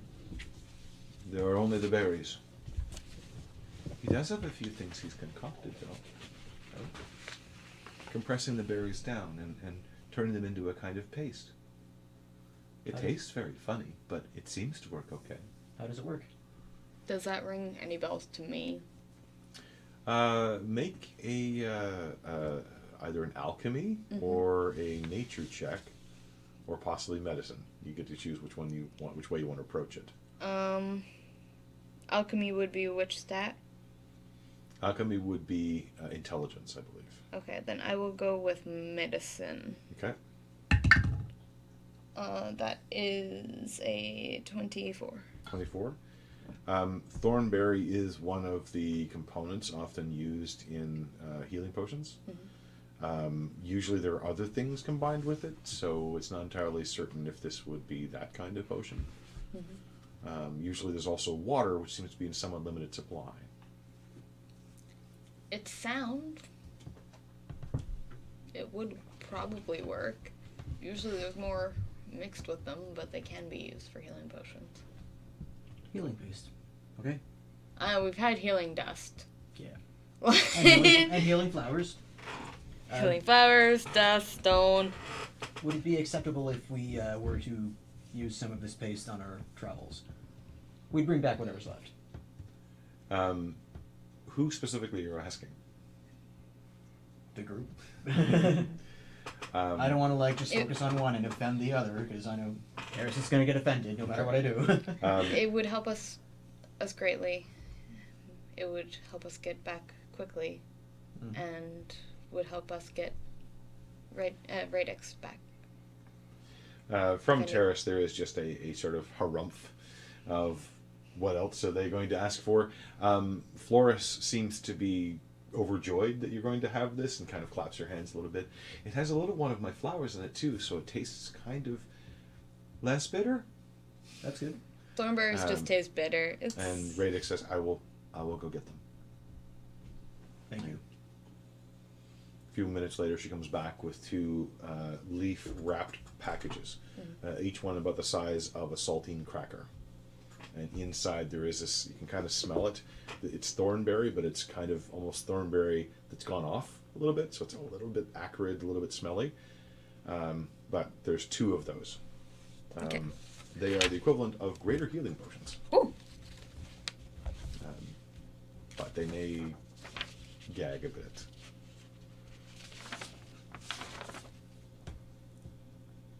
Oh yeah, I forgot I had those. You have a few pills, I think, as well. Yeah. So, they offer to provide you with a little bit of, of comfort to sleep on. They can bring in leaves. Floris can actually make leaf bedding essentially for you. But Terrace is not moving from her spot in front of uh, Bernard's room door. I mean, I'd be okay with leaving in the morning. Gives us time to choose spells and stuff. Yeah, same here. Well, whatever Mhm. counts as morning in this cursed place. All right. So you're gonna take a rest? Clark will take a watch. Okay. Yep. So will I. We'll split the night up. And I'll take a watch as well. I'm just Okay. gonna sleep. Two hours, two hours, four hours, because I'm awake anyway. Eight hours. Full eight Alright. hours sleep, the goal of life. Who's taking first watch? I will. Okay. Make a perception check. Sure. Ah.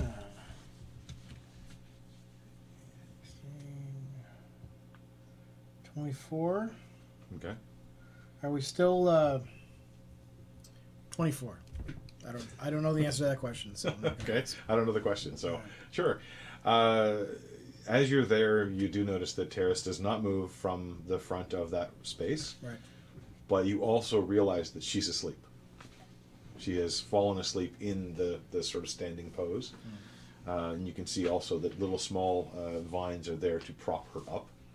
Um, so she wouldn't be easy to move if she was. Uh, and little vines have kind of tripped across the door as well. That if anybody walked across, there'd be a tripwire essentially that would wake her up most likely. Uh, Radix is gone. She goes through the front and just seems to be out there in the, if you will, the front garden. Mhm. Uh, and Floris has gone deeper into the the uh, grove itself. Um, as you're there, you start to get a headache, Okay. and the headache gets worse Mm. to the point where you're getting blinding sparks that are crossing across your vision. Um, Clark will head over to Ironbound and give him a kick. Okay. Mhm. Your turn. Clark will try to find a nice cold spot on the floor somewhere. Okay. You're gonna sweep aside the Yeah. the feather. No the- creature the- comforts. Okay. Um, you lay yourself down, and your vision goes white. The sparks have all kind of exploded in complete range of your vision. Hmm. And you find yourself sitting in a room. The room looks like it is well furnished, made of wood, upper class. And across from the the room from you is a rather well dressed looking elf who seems to be rolling dice, throwing down the table, laughing at the result, picking them back up, rolling them again. What do you do?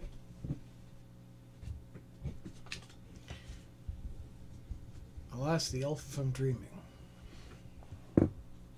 Um, and he continues kind of picking up the dice, not really noted, paying any attention to them, but he very carefully and easily picking them back up again. And he'd learned to to you. Dreams are magnificent, aren't they? It is almost as though there's another world we can tap into when we dream.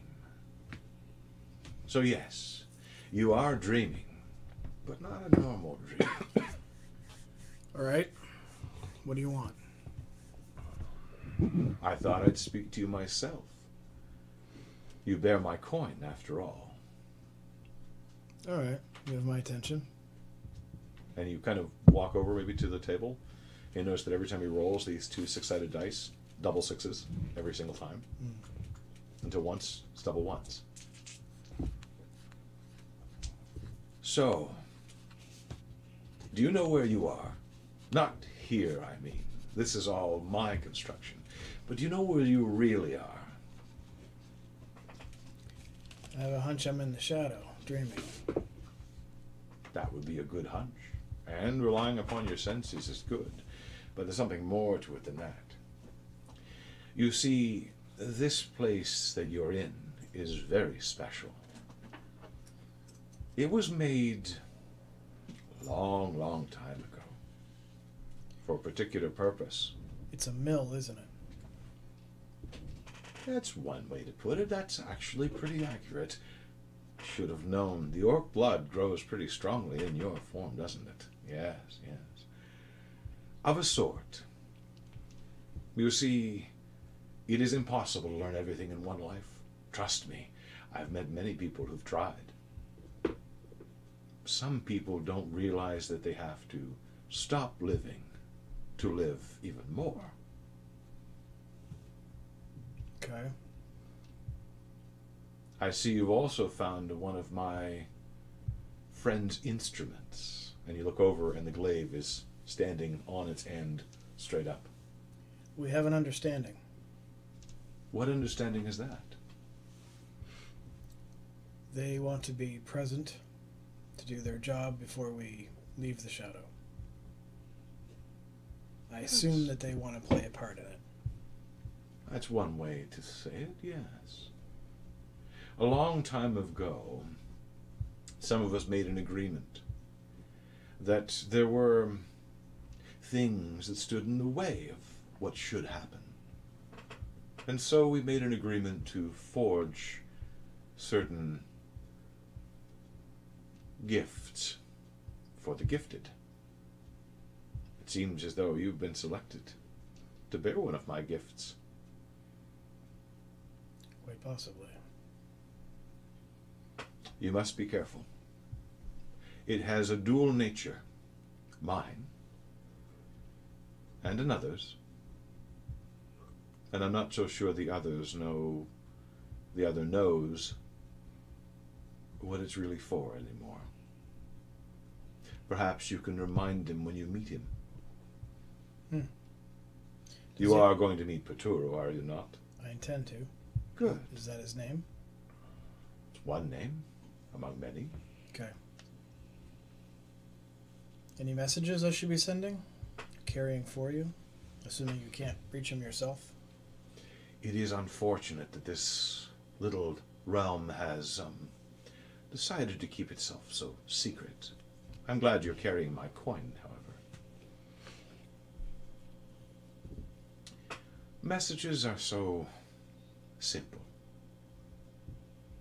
Perhaps just reminding them that he has a duty to perform would be enough. And if he fails that duty, perhaps he needs to move out of the way to allow the duty to be reborn. Okay. Do you have a name? Or should I just assume? I have many names. Yeah, I figured. What name would you prefer?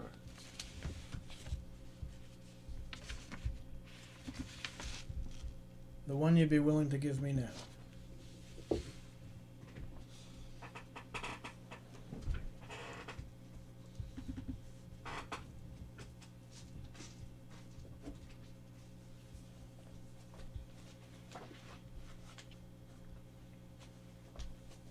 actually had that there. Um,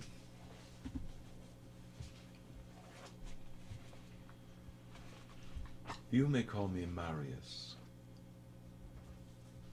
Clark will nod and bow. I like you. You have a dual nature right down to your very soul. That's useful to me. I don't fit anywhere else. On the contrary, I think you fit much better than you realize. Now, before I return you back to your comfort and sleep, is there anything you would ask of me?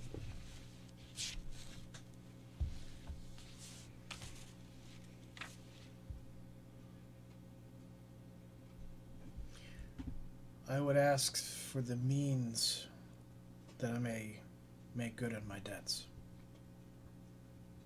Interesting. but the freedom to make them uh, on my own. So you wish me to let you have your freedom? I would like to earn it. I see.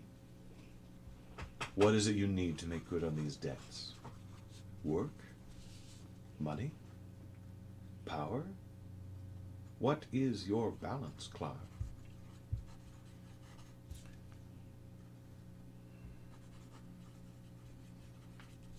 Freedom of movement.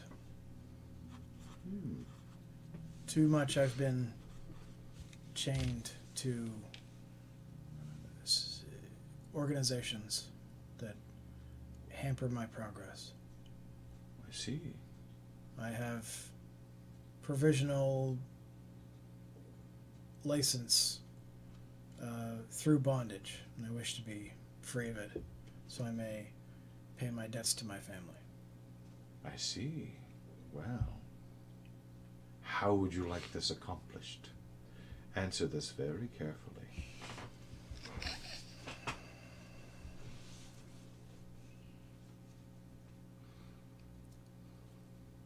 I would like to see my. Uh,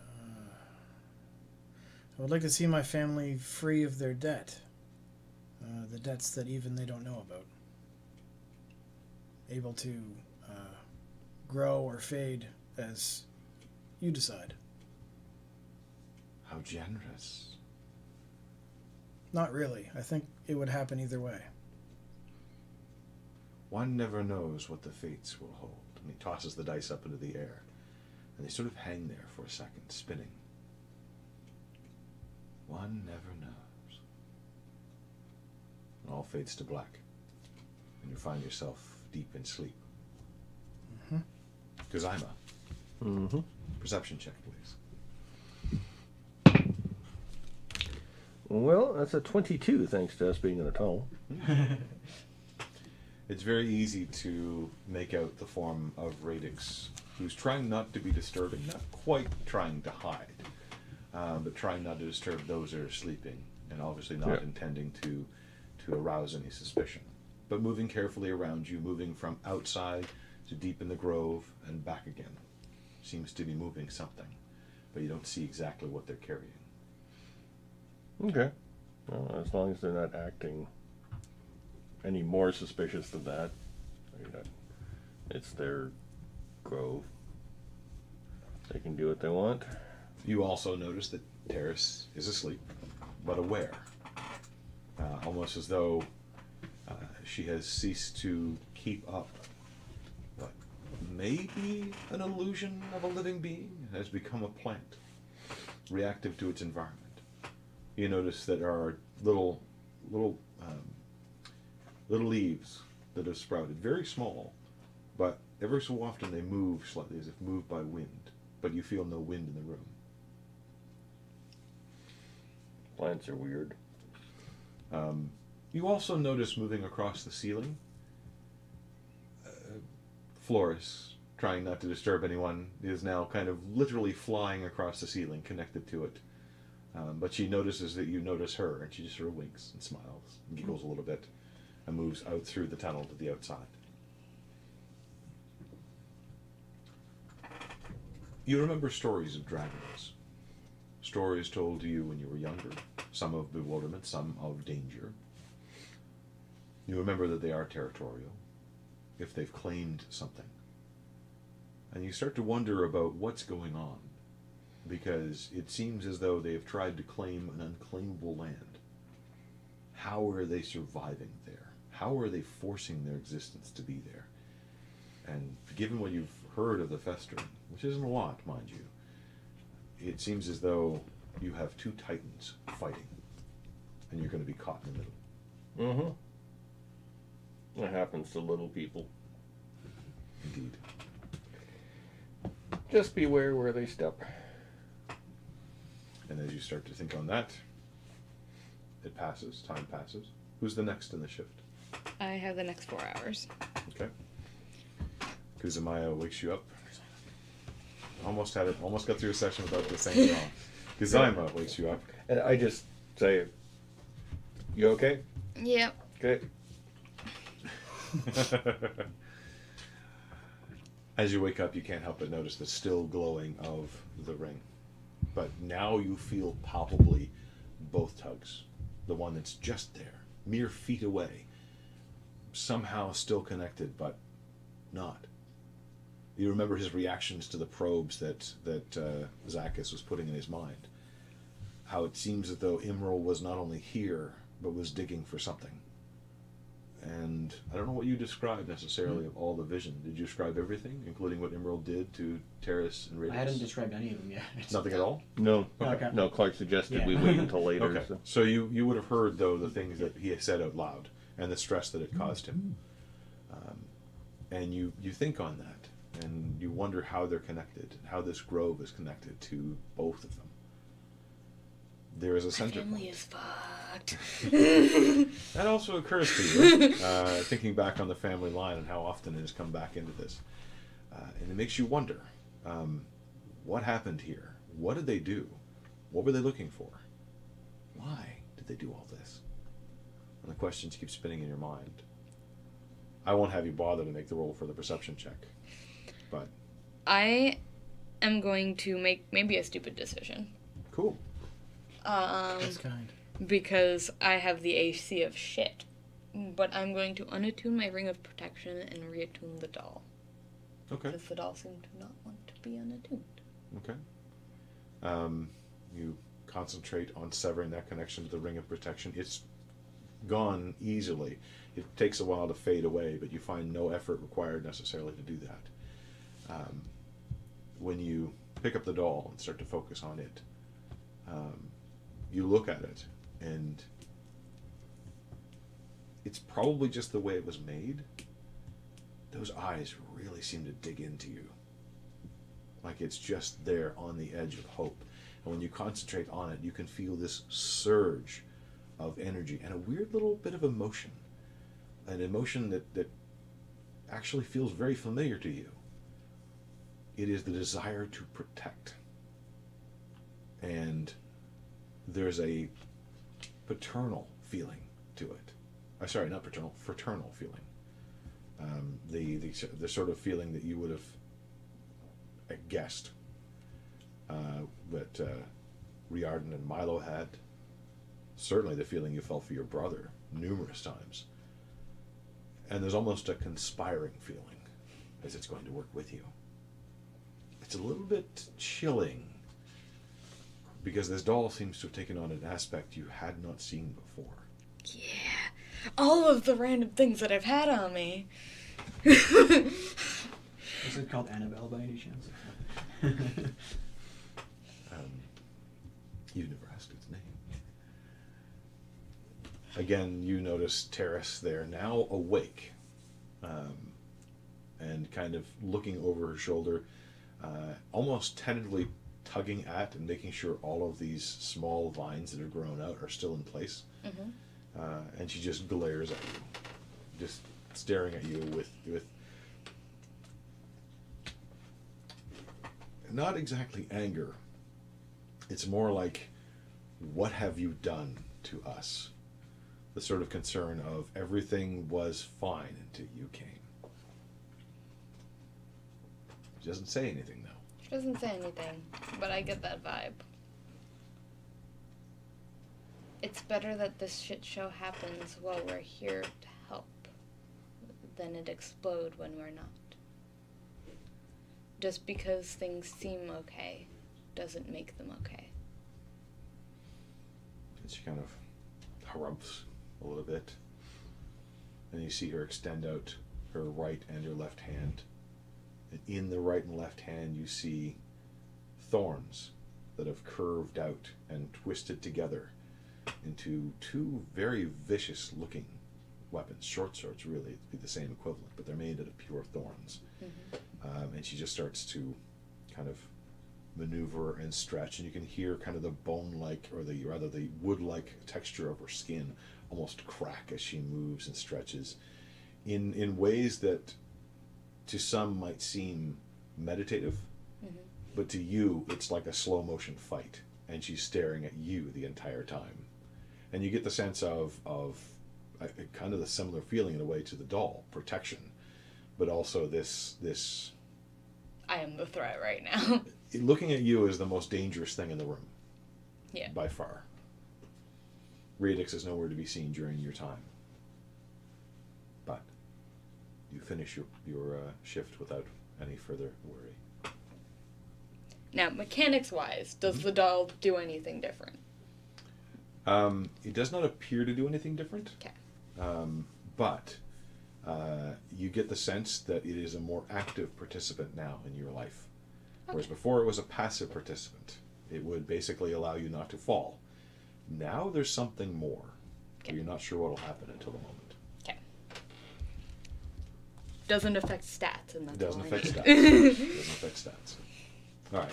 Um, your shift ends. Do you wake Zacchus up, or are you just going to do the three shifts? I Well, meditate she- for four hours and stay awake for four, so, So you're staying Yeah, awake. she takes a double shift. Okay. I, I take a double shift. And you're leaving Zacchus to rest, or Yeah. Right. He gets cranky in the morning. okay. Right now there's tasty tea, which Bernard can't make. Oh no! I can Um, I'm sure I can figure out how to make tea with You a awake. berry I'm very familiar with.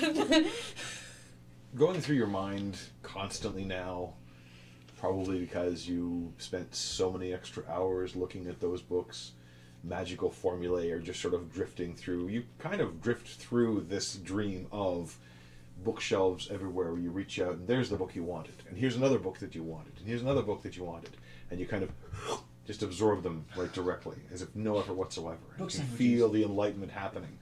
And then why does my back feel a little bit sore? And then you wake up on the leaves, which are giving some some uh, softness to you, but Right. it's a little bit cold. It's gray. It's dim, and there are no books in sight. That's the bad thing about the good dreams. You always wake up from them. Crack. So, are we all ready? Did anybody make tea by any chance? Right. Uh, Ter- uh, Terrace is just sitting there glowering at you. I have dried berries. I wonder if there's any tea left. Anyway, There is some cold tea, says Radix. Oh, that'll have to do. It's it's a good refresher. And she goes to the pot that, that was made last night and actually pours out cups of tea and hands them to each of you. Pass. I warm mine. Okay, it starts to steam. Um, and you have the tea. It, I warm his. it, I'll what's drink it cold. cold, it's a little bit more like a uh, like a green tea. Heated, it takes on more of a berry-like flavor. Yeah. Um, so there's a very mild but still relaxing flavor to it. Um, mechanics-wise, effectively right now, you are resistant to frightened for the next hour, but it's probably not going to come up. Uh, and it hasn't really been a concern when you've had the tea at this point, but just to know that's one of the effects of the tea, which actually is not entirely unlike some of the tea that your dad makes. Uh, I think it's not. Is it black moss tea? Black moss tea is the curing tea. I think. Yeah, maybe. I thought Black, Black Moss was that one in like in uh, Igro. Or, Yeah. Yeah, that was the super Oh, stay sorry. awake. Yeah, That's right. That, that was the was- awakes. That was the it's a awakes. caffeine stuff. Yes, I've I should know that one. Zacchus knows that one. Um, I don't have my binder with all of my loose sheets. So. fair enough. Uh, Terrace is still standing where she was. Radix is giving you the tea, and Floris emerges from the the, uh, the tunnel back to the surface. Um, I made these for you, and she comes over with uh, these wreaths of flowers, uh, multiple colors of flowers.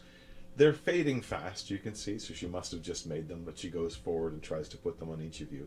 Do you accept? A politely decline. She looks kind of crestfallen. I take it from her and put it on his head. Kind of throw it towards Be your head. nice. Do you just take it off or refuse to take it, put it on at all? You won't remove it. Okay. So you get that the sort of and then she puts it on one on yours. I'm assuming you take it. Does uh Kuzaima accept the, the wreath? Mm-hmm. Is she bigger than me or smaller than me? She's taller than you, but she's also propped up on the vines as well, so it's hard to see her true height. Yeah. For you, she actually kind of both bends down and is supported by these to put them on. It actually is a smaller wreath as well, kind of proportioned. And Oh, I'll wraps it around my neck, tries it to as well. strangle me. Uh, and then she takes one more and gives it to Radix, uh, who is kind of surprised and looks up at, at her sister, presumably, uh, who looks down on her from the, the perch of, of vines. For good luck. Thank you. Come back to me. And she says specifically to Radix. Radix kind of shyly, I will. Uh, has anything happened with Bernard? Is he awake? Feeling better? Did he stare in his sleep? He's still sleeping, says Right. From, or Terrace from across the room. I'll take it nothing has changed since last night. He's resting. He will get better. He is not injured. He will get better. He wasn't injured, says Floris. Exact same words that you just said. Um, I'm going to make my own flower. Okay, With Druidcraft. Druidcraft. Okay. Uh, a purple rose, Ooh. and I'm going to give that to her.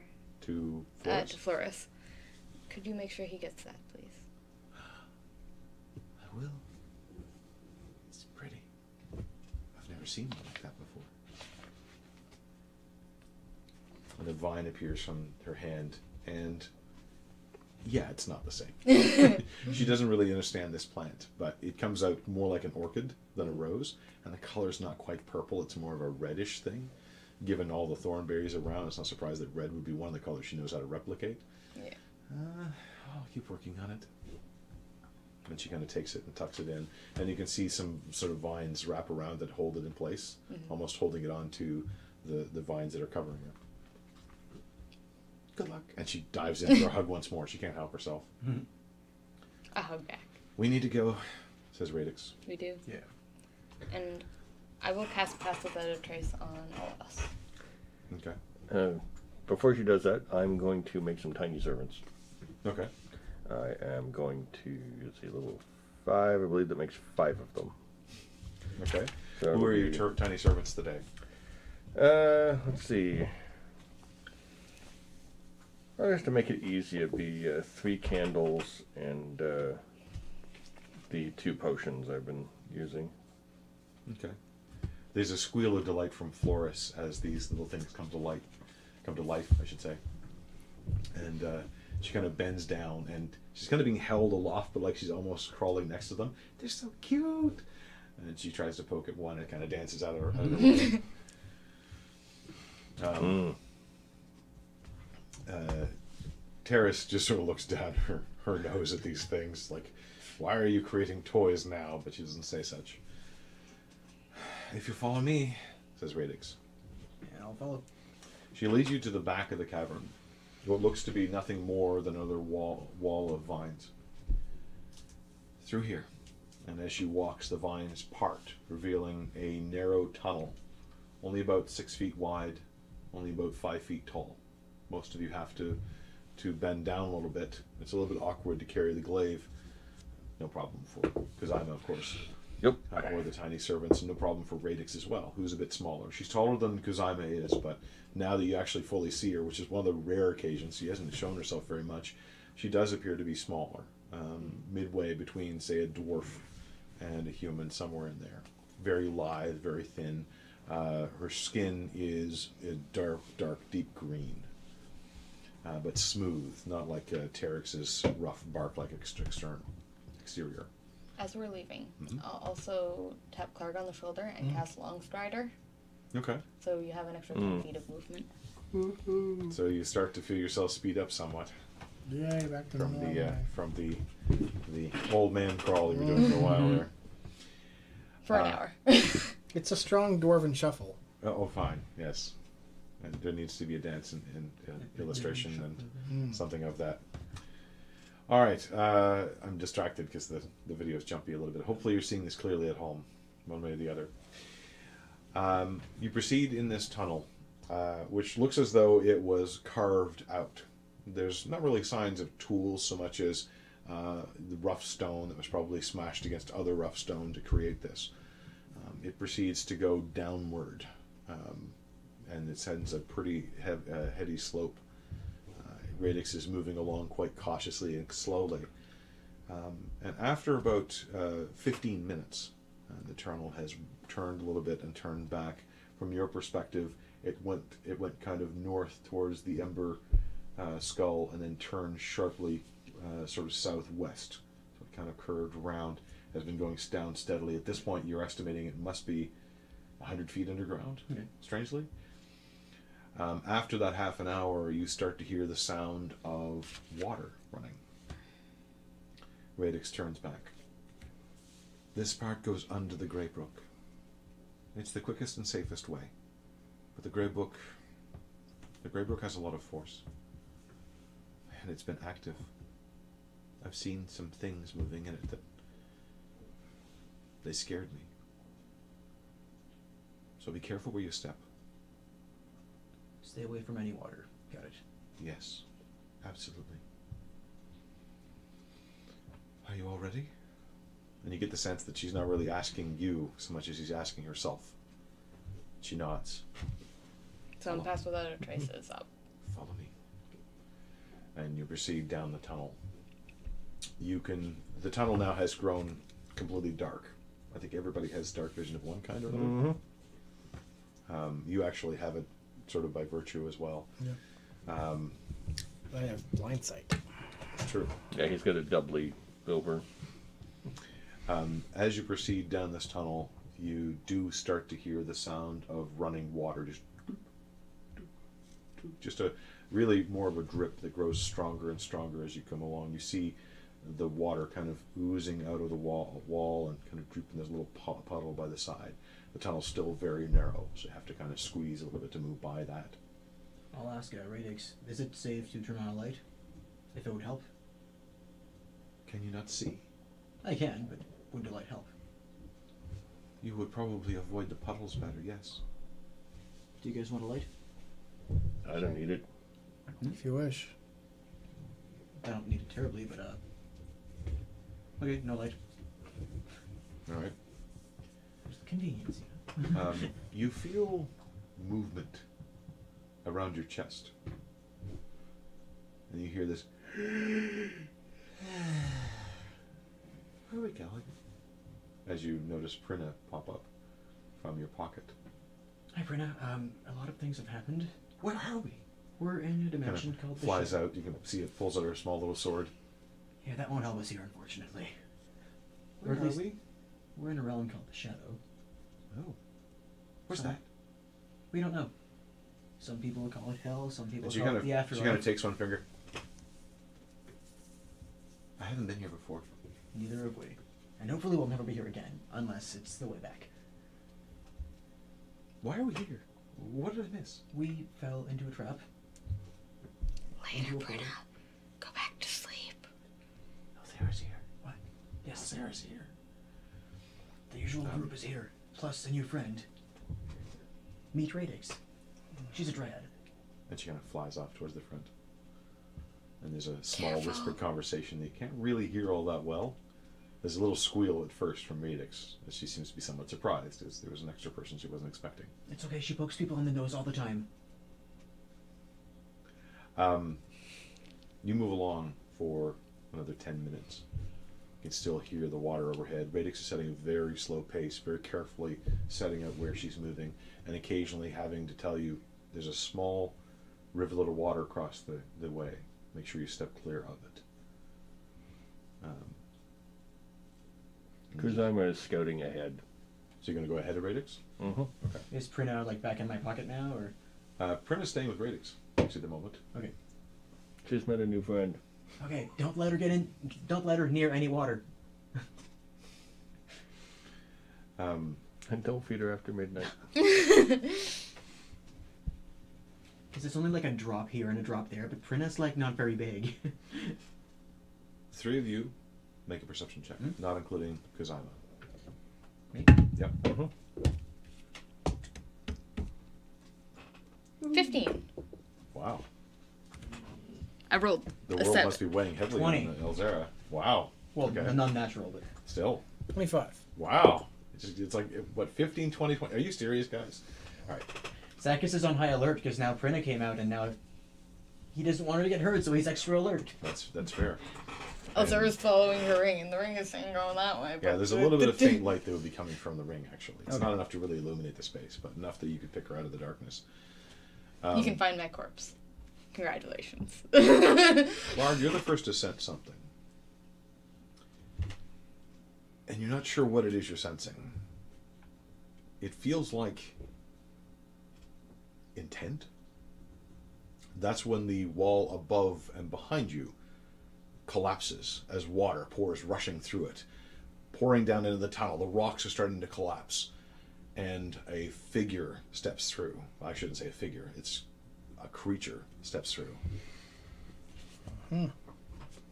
from the brief glimpse that you get, illuminated by the little bit of light that shines through the, the multiple layers of Grey Brook that are above, above you, it seems to have three legs, and there's something thrashing along its side. Up front, Kuzaima, make a perception check. Thirteen. 13. You gaze on ahead and see a creature blocking the path, taking up the, nearly the entirety of the tunnel, standing in front of you. I send a message back to Clark saying, "There's something up here." And then you do that, that's when the explosion of the of the ceiling happens, and you see the water rushing towards you. Now we have a question. This ain't good. This looks like a combat. Do we think we have time enough for a combat? We're sitting at ten after seven for the moment. I'm, I'm good. Depends on the size of the combat. I mean, if It it's two doesn't- things, then we can probably do that. Okay, Yeah. we can certainly try, and if it doesn't work out, then we can uh, We can always pause for next time. we can always pause for next time. All right. So I need to get a marker, and we'll set out a little bit of the place here. Where am I? This was supposed to be safe. Nothing is safe.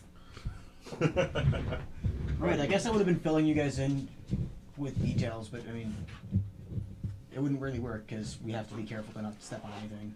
Clark would also ask you to be quiet. Yeah. Clark doesn't want the information to be shared. No. But but we need to know. It would be good information to know. It's good for us to know. without It's not good for that. other audience members to know. Not you folks. I mean, Mm-hmm. the, the dryad, dryad druids. She's alright. She's helping us. The Dryads. You gotta grab the Zacchus May before he gets decapitated by the board. And somebody remind me when I sit back down to make sure that I turn on the overhead. for those of you who are waiting at home. All right. Turn on the overhead.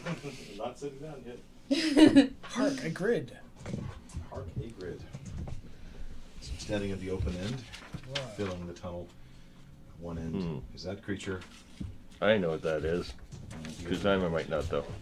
is that. The tunnel behind you is blocked, So I'm probably not and there. water is flushing in.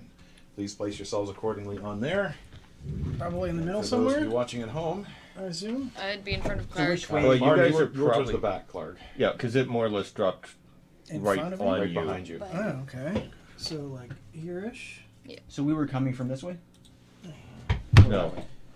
Going this way. Can someone pass me my mini? All right. There we go. It would have been not too far from Clark because Oh, yeah. Clark is strong. I You'd say that. It's not so true. But slightly This farther, like slightly far enough, just in case this glaive like goes ape shit. I we have Oh, cool. my almost painted dryad. Ooh. Let me back away because I was ahead some, just got a but ahead, yeah. I can see 90 feet ahead of me, so Mhm. uh, I don't know how far, uh, but uh, that should be fine.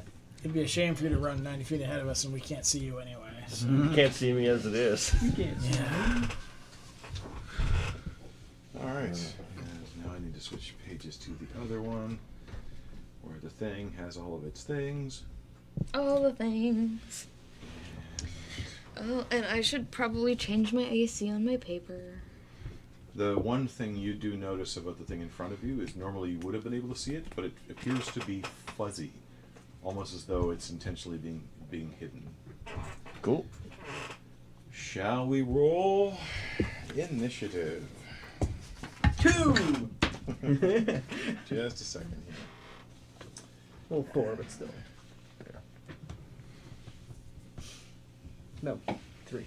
Yeah, all right. I had that number, but I had other numbers to go with it. Okay.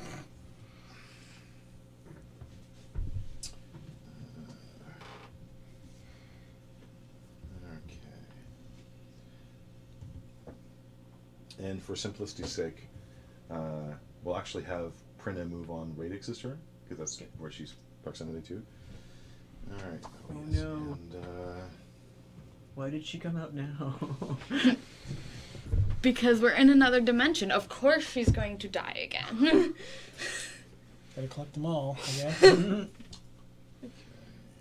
she's gonna have like a tattoo of like all the planes of existence and like co- colored in are all the ones she's died in. Mhm.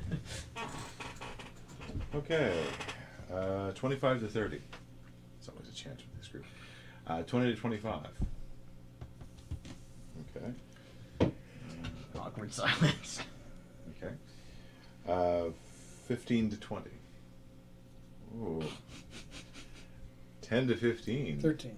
11. Ooh, okay. So we've got Clark. I have a plus 8, and I got an 11. Oh wow. we all roll shit. oh, what, what was your die roll next? Two. oh no. Alright. Make sure I get these right. And. Uh, you'd think it was, like, not recently I did this. Uh, 5 to 10. Whoa. Okay. Uh, 0 to 5.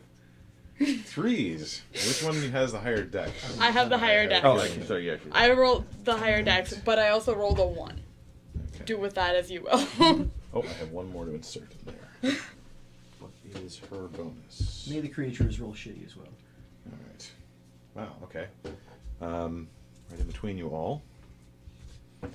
Uh, star A is Radix. Now, I have Radix's uh, sheet here. If someone wants to play Radix, they can do so, or I can do it myself. I don't want to babysit Okay. the MP. No, I, I don't. I don't want that responsibility. That's fine by me. Say, I've got I don't fi- want her to die because I've got five dolls already. Fair enough. And they move on your initiative, right? Is that what we Mhm. determined before? Okay. Uh, yeah, the spell doesn't say, so I think it's a good assumption. Okay. yeah, I think that's the general way. Clark, you're the first to react. All right. Uh, well, arm himself, turn around, and ma- waylay this thing Okay. before it gets a chance to act too, too badly. All right then. Are you moving closer to it, or? does Oh it- yeah, yeah. He'll. Or does the glaive have enough range? Uh, actually, I got the range. I can just Yeah. stay right there. Okay. Why not? Ah, one of those is a crit. Good start. Um, Makes up for all the initiative where do we numbers. go? See, we don't have to hit. He just has to crit. Like, we'll be fine. Twenty-six and a crit to hit. Uh, I think the 26 hits. Okay, cool. I'm fairly certain that, That it hits. means two hits then. All right then. Uh, One of which was a crit. Yeah, I like that. Let's do the not crit one first, just for the sake of Warm it up a argument. little bit. All right. Uh, D10. Hmm. Ugh. Oh, I can reroll that though. Hooray. Not much better. It's better though. Six. Uh, and seven. So six uh, slashy damage and one That- necrotic. That's a one. Can't you re-roll that? Because- Perhaps. Perhaps. Yeah. Uh, six, seven, eight. Uh, with two of them being necrotic. okay. Uh, the next one. One, two. Where'd you go? Three. Uh, yeah. 12, 13, 14, 15, 16, 17, 18, 19, 20, with four of that being Another- necrotic. All, all the dice are. Yes. Uh, still, Oh. go, still going. Oh, okay. Wait, still going as in More, damage? more damage, yes. Yeah. Beat down. You can at least two. Better. Uh, 9, 16. With another 3, 19, with three of it being necrotic. So it was 20 on the previous one plus 19. Yeah. Thirty-nine. All right. Uh, nicely done. And then I'll swing it a second time. Excuse me, third time. All right. Uh, Great Weapon Master. Blah. Um, Not a crit. 18, 19, 12, 13, 14, 14 to hit, meh. 14 just barely misses as it Yeah, blazes off its, okay. uh, its tough hide. There we go. So you spin around, and one fluid motion, the glaive goes straight, almost on its own, not not staying either down or staying up to giving you that extra bit of length. Uh, carves into the front face of this thing. I should describe. They have three legs, a dark brown, uh, tough-looking hide. Their mouth is this, this massive alligator-like mouth, but with all the teeth facing outward and long and pincer-like. It has two uh, tentacles on either side, which have these barbed uh, uh, uh, pads at the end, and one tentacle above, strangely, that kind of runs from the back, with three eyes across one side that it gets to kind of look that way, so it cannot run up above. Um, as the first one slashes it, kind of catching it as its, as its gaping maw opens up, and you slice into it, cutting a part of its cheek away.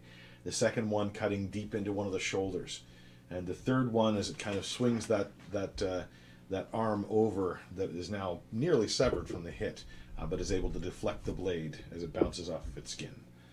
Uh, it looks pained significantly from that uh, from that hit. All right, is that your That's my that's your turn? whole thing. yeah. Okay. It gets to respond now, however. Probably. Now you've moved away from it by a little bit. Nope. Nope.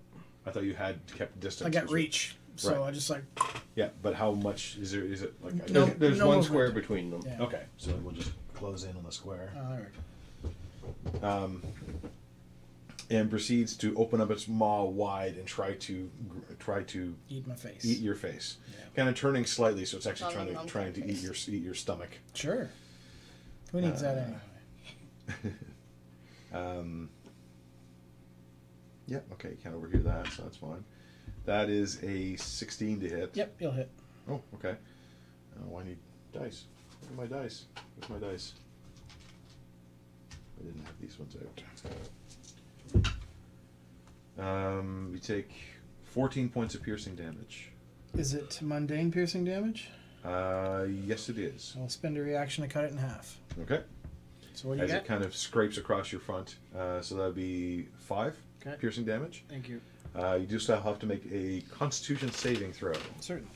uh, against disease. The disease. Seventeen. Seventeen. Yeah. As you feel the the uh, the edge of these uh, nasty, long, jagged teeth peer out at you and scrape across your skin, there's a little bit of searing pain where where it uh, is, is scraping across any exposed space, uh, and you uh, kind of grimace and grit and tighten your stomach, and doesn't seem like it took hold, Okay. but it smells awful. Uh, then, having kind of lashed out at you with, it, with its uh, face, then proceeds to wham wham hit you with the two tentacles. Or try. Hit me with the tentacles. Try. Uh, 20 and a 16. Yep, it hit both times. Alright. For 8 bludgeoning damage and 5 piercing damage. Uh, okay, eight, five, thirteen. And then the second one, uh, 7 bludgeoning and 7 piercing. That's another fourteen. Okay. as the tentacles hit you, and then the spikes kind of go and la- lash into you. Yuck. You're now considered grappled. Okay. Gross. At the other end, uh, it moves forward. Yep, it can close the distance there between. Uh, It can't see me.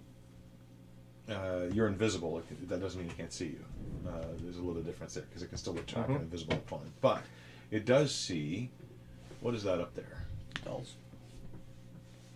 Uh, Yeah, the other things with me are the dolls, uh, which I'm currently Okay, wearing. Radix is, Uh, and then there's the yeah radix and uh, the Radix is a bit Flab. further back. But what's why are there two feature two creatures up there? because of the Right now? little. No, no, no. Where you are? Those are my dolls. Oh, okay. Well, I just put them out there for so I remember. I was like, somebody else is joining the fight. I didn't see them. Ah, okay. Um, They're clinging to my backpack currently. okay. Well, they're basically being carried by you, so the same Mhm. same issue. Uh, That's right. okay. Well, it can. I think it can still make a perception check to try to find me. It just has disadvantage because I'm invisible. Uh, yeah, we'll see if it happens to see you. Oh, that's better than I thought. Uh, uh, it seems to be aware that you're there and is taking swipes at you, but it still can't really see you, so they're blind swipes essentially. Uh, it's going to swing at a distance, so move it up within 10 feet. And then it's going to lash out with the two tentacles. Okay. Uh, first one is a 13 to hit. Hits. Um, second one is a 8 to hit.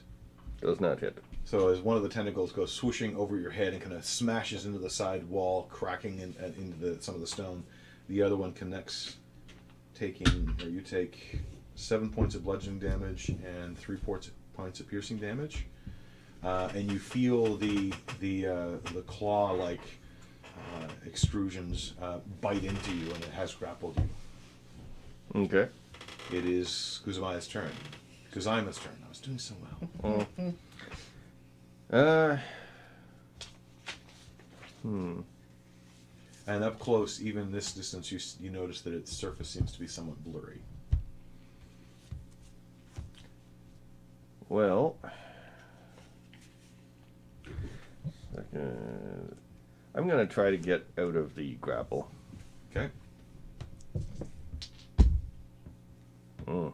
Oh, you grappled That and kinda restrained. sucks. So keep that. Okay. Uh, sixteen.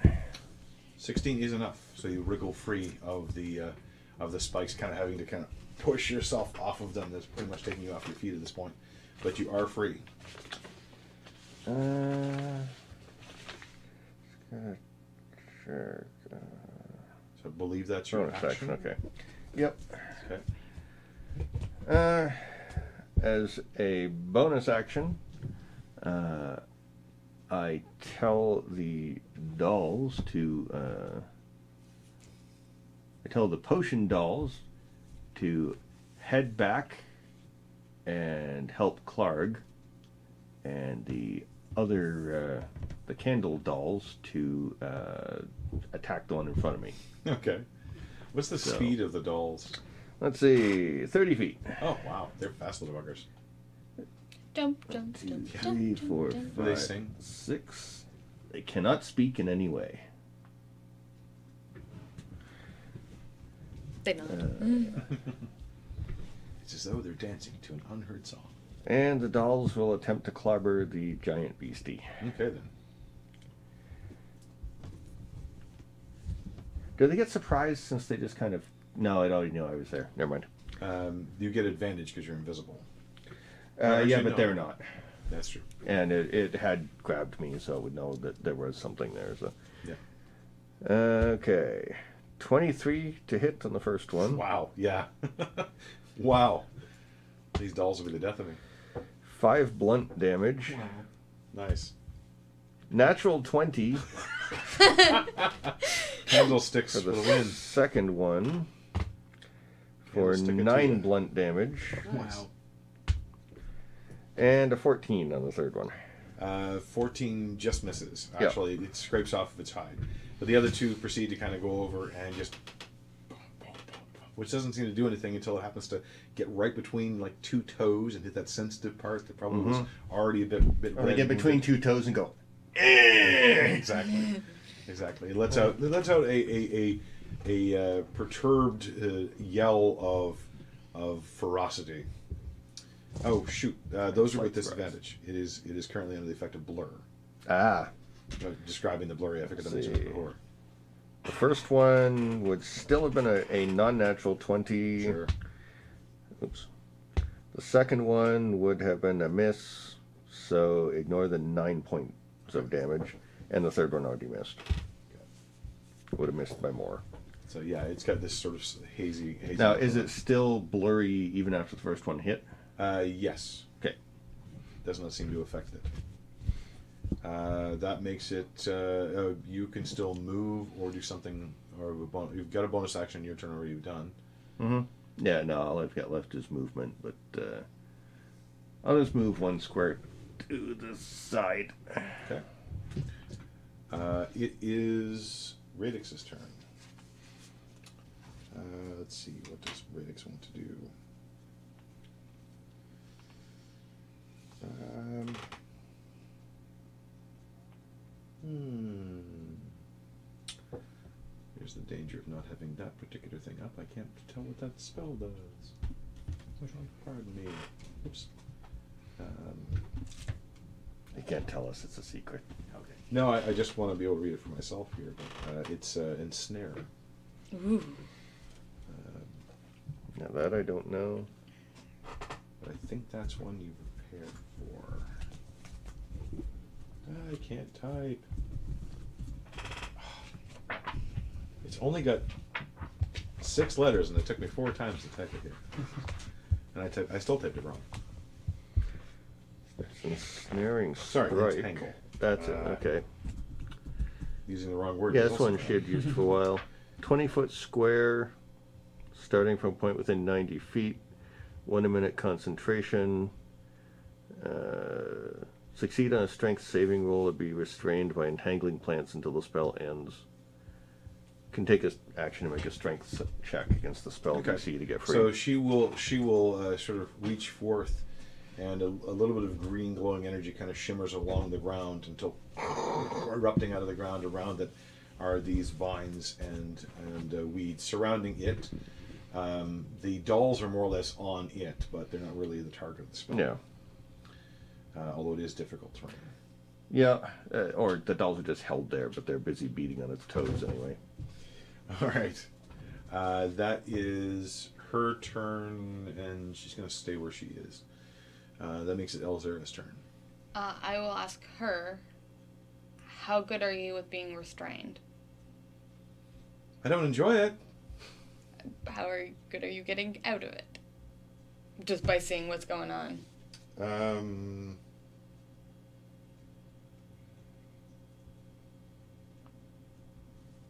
I'm. I don't understand, but I can probably wriggle free. What are you thinking?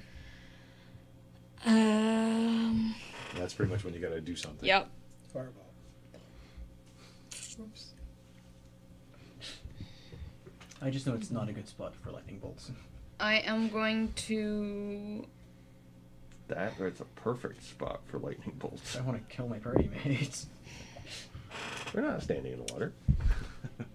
The water is starting to pool actually up at this end, and Yeah. each round it is filling in somewhat. Uh, I'm going to cast. How far are people from me? 30 feet.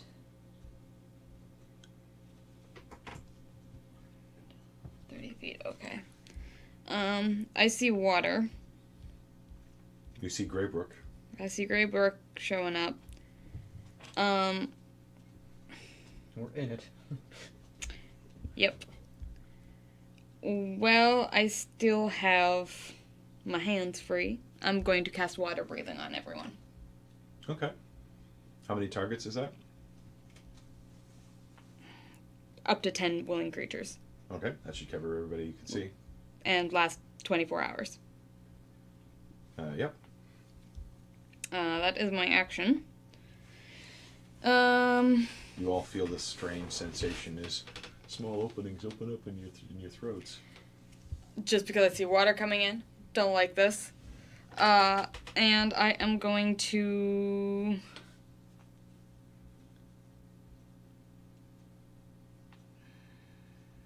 That's my turn. That's what Okay. I'm going to do. Staying where you are. Yeah. All right. Zacchus. So that one looks pretty bad, right? It looks much worse than the other one in front of you, but they all look pretty bad. Yeah. Firebolt. Okay.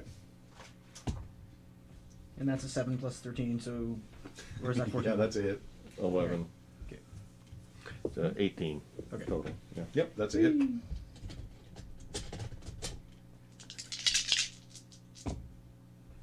Hey, that's not bad. Dang. So 15. 22. Fire. 22. Ooh. From a firebolt. Holy moly. Yeah. You guys are getting powerful. It's awesome. Uh, and the, the dice just landed really well. Something landed really well, that's for sure. Yeah, the firebolt kind of whizzes around. You can see that that uh, Clark is currently kind of bound up by this one that's pierced his, his skin a little bit, and he's almost being held by it. But the the firebolt whizzes on through, hits it kind of in the mouth, and kind of there's a moment of nothing, then and then smoke Uh, flowing out. is of that it. one fuzzy too, or is this No. the only one that's No, good? only Okay. that one. Uh, that's your action. Yeah, and I moved a little bit. Okay. Uh, back around the No, top. it's- yeah. Back around the top. First thing that happens is I will advance the water marker Oh. as the water is flowing into the tunnel. At about that point right now, it would be considered difficult terrain, as the water is about a foot and a half deep. Mm, do you want to just put a pencil across? Uh, yeah, I can do that. It's even blue. It's even, blue. Clark. Uh, attacking on the other creature. Yeah. You are currently restrained. I am, but I can still attack. It just happens to do it at a uh, disadvantage. Uh, just can't move. Yes, so you're at disadvantage. So first swing. Uh, eight. Uh, 14 chance on this, I think, from That's with time. disadvantage? That's with disadvantage. 14? Yeah. 14 is again kind of scraping That's off the hide. Okay. It's hard to get that angle on it. It seems like its hide is extraordinarily thick. Second swing. Uh, 13. 13. Yeah, unfortunately, you're getting off balance. You're kind of being jerked around by this, and the, the cold water starting to filter around your feet. You feel your feet go somewhat numb as the water rolls over it. Okay. Uh, I will, as a bonus action, then use Second Wind to get some hit points back. Okay. As you focus in and draw a breath, Hmm. draw strength almost from the weapon itself. Alright, healing ten. And that's right, gotta do the, uh. As that one proceeds to, with you uh, stuck up against it, slam you into the wall, Yeah, I would do that. Wouldn't uh, make a Constitution saving throw. Sure. Uh, con.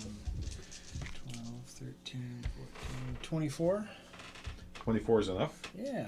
Uh, hope you so. find yourself only taking uh, three points of bludgeoning damage, and you manage to twist just enough so your head is not smashing into the wall. Is it bludgeoning damage? It's mundane. It's mundane. I'd like to use my uncanny dodge to have the damage of one attack. Okay.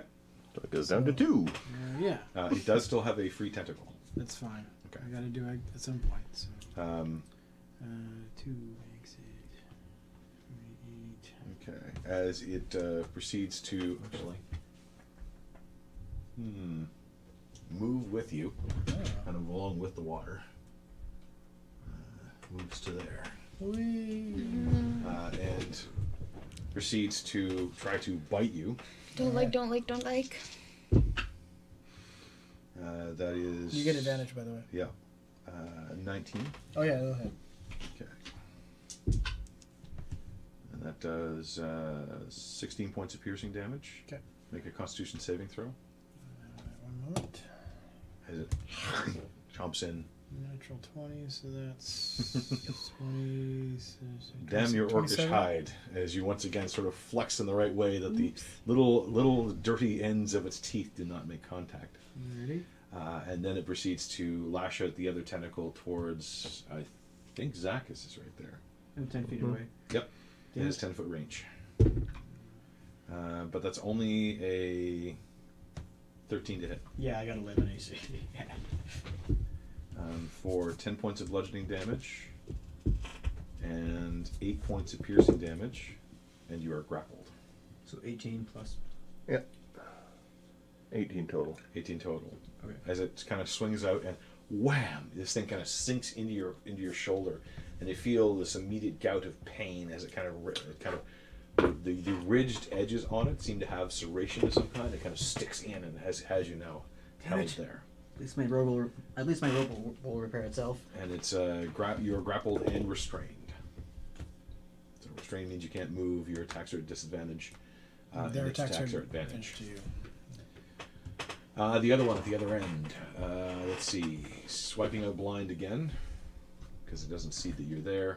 Is it attacking me or the little things attacking its feet? One tentacle is going at you. It's going to bite at the things at its feet and use the other tentacle on them. Uh, after you, oh, uh, that is a 23 to hit. Hits. So it rolled really well.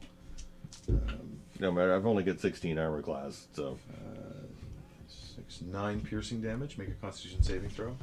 Uh, no, sorry, wait. Uh, that was a tentacle. Actually, sorry, what was its total? 23? Hmm. No, I'm not going to do anything. Okay.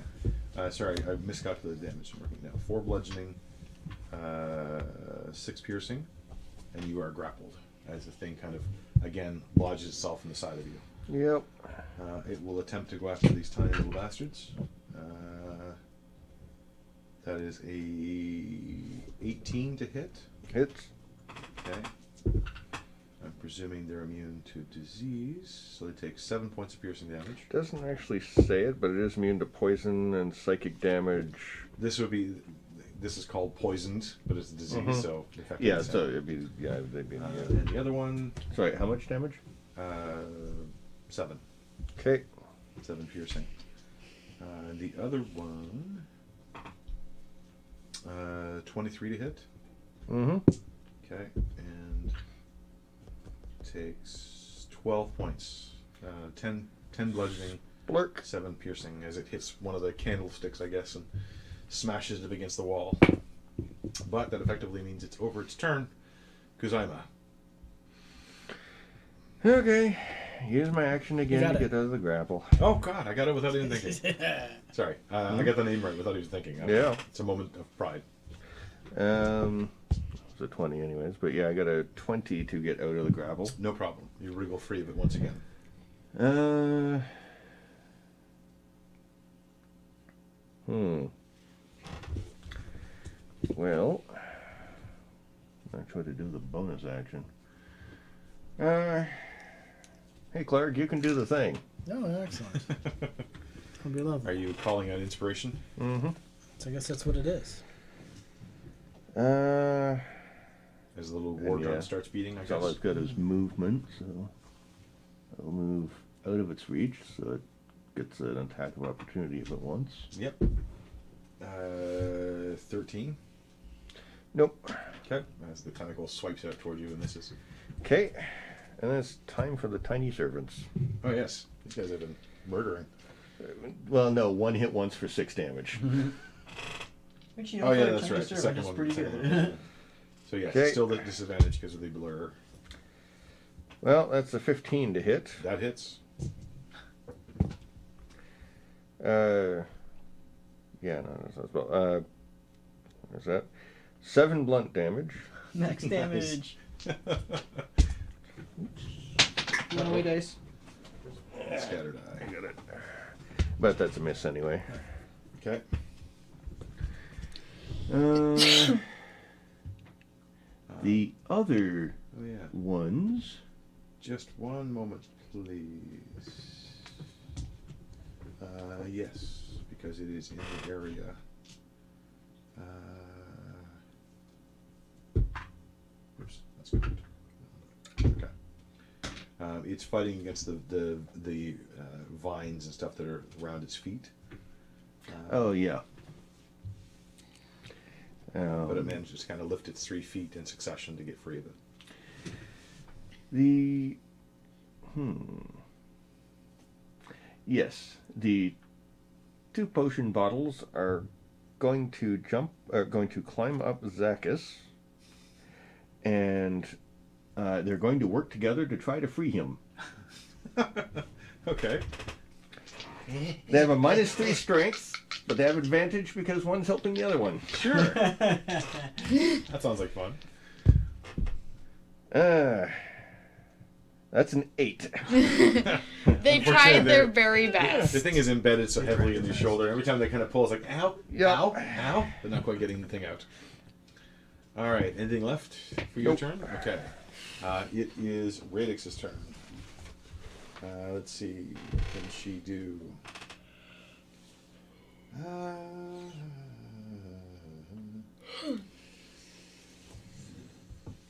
um, Radix starts to spin in place and then then stops suddenly as three thorns launch out of her arm, firing at the one down there, the one that she's ens- ensnared. Oh yeah. Should we still have disadvantage to hit it because it's It's held? not restrained because it managed to break itself free from that. Oh okay. Uh, I rolled the strength that was after the fact, but it turns out it didn't affect anything. Okay. Uh, and that is two hits. So.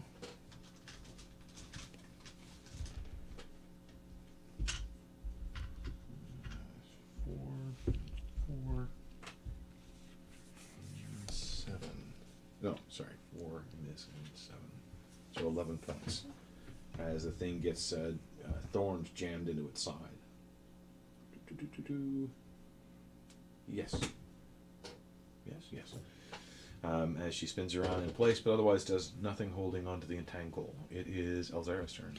I'm going to cast Guardian of Nature on myself Okay. and become the tree. You're looking a lot like uh, Terrace suddenly. Yeah.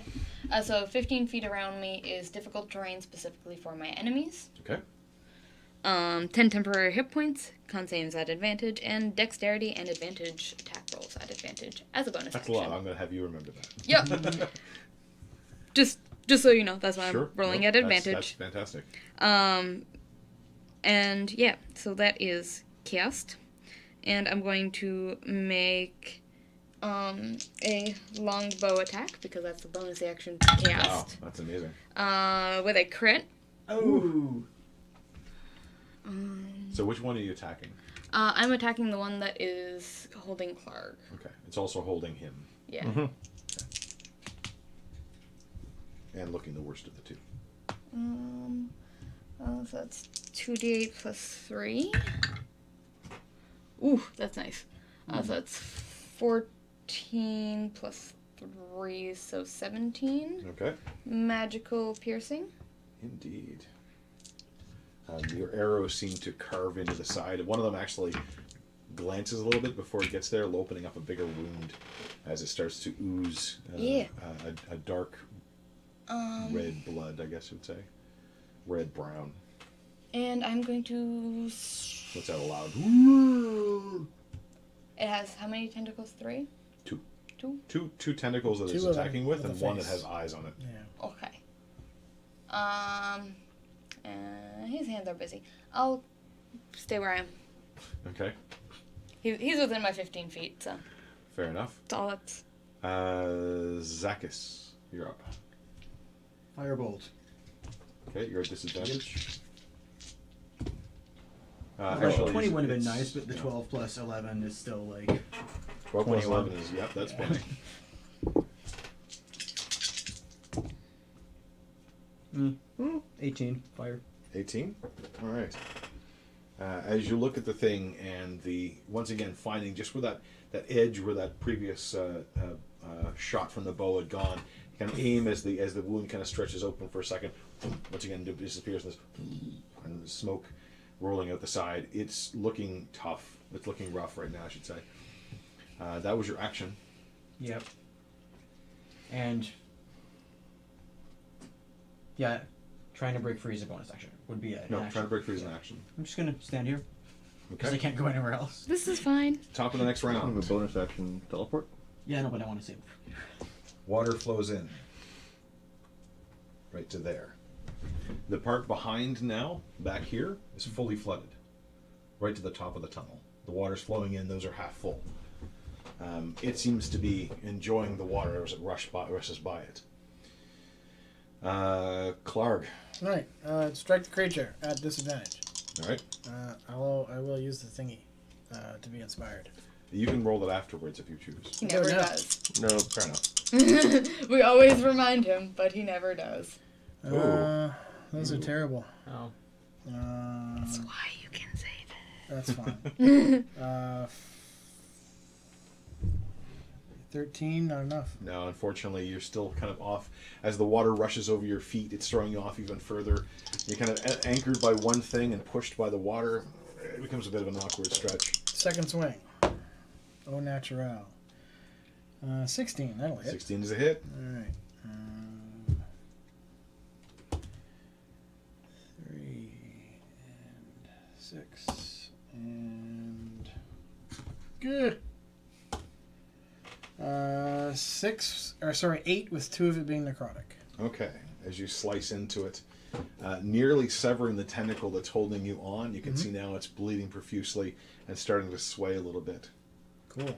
Uh, cunning action. What are you going to do?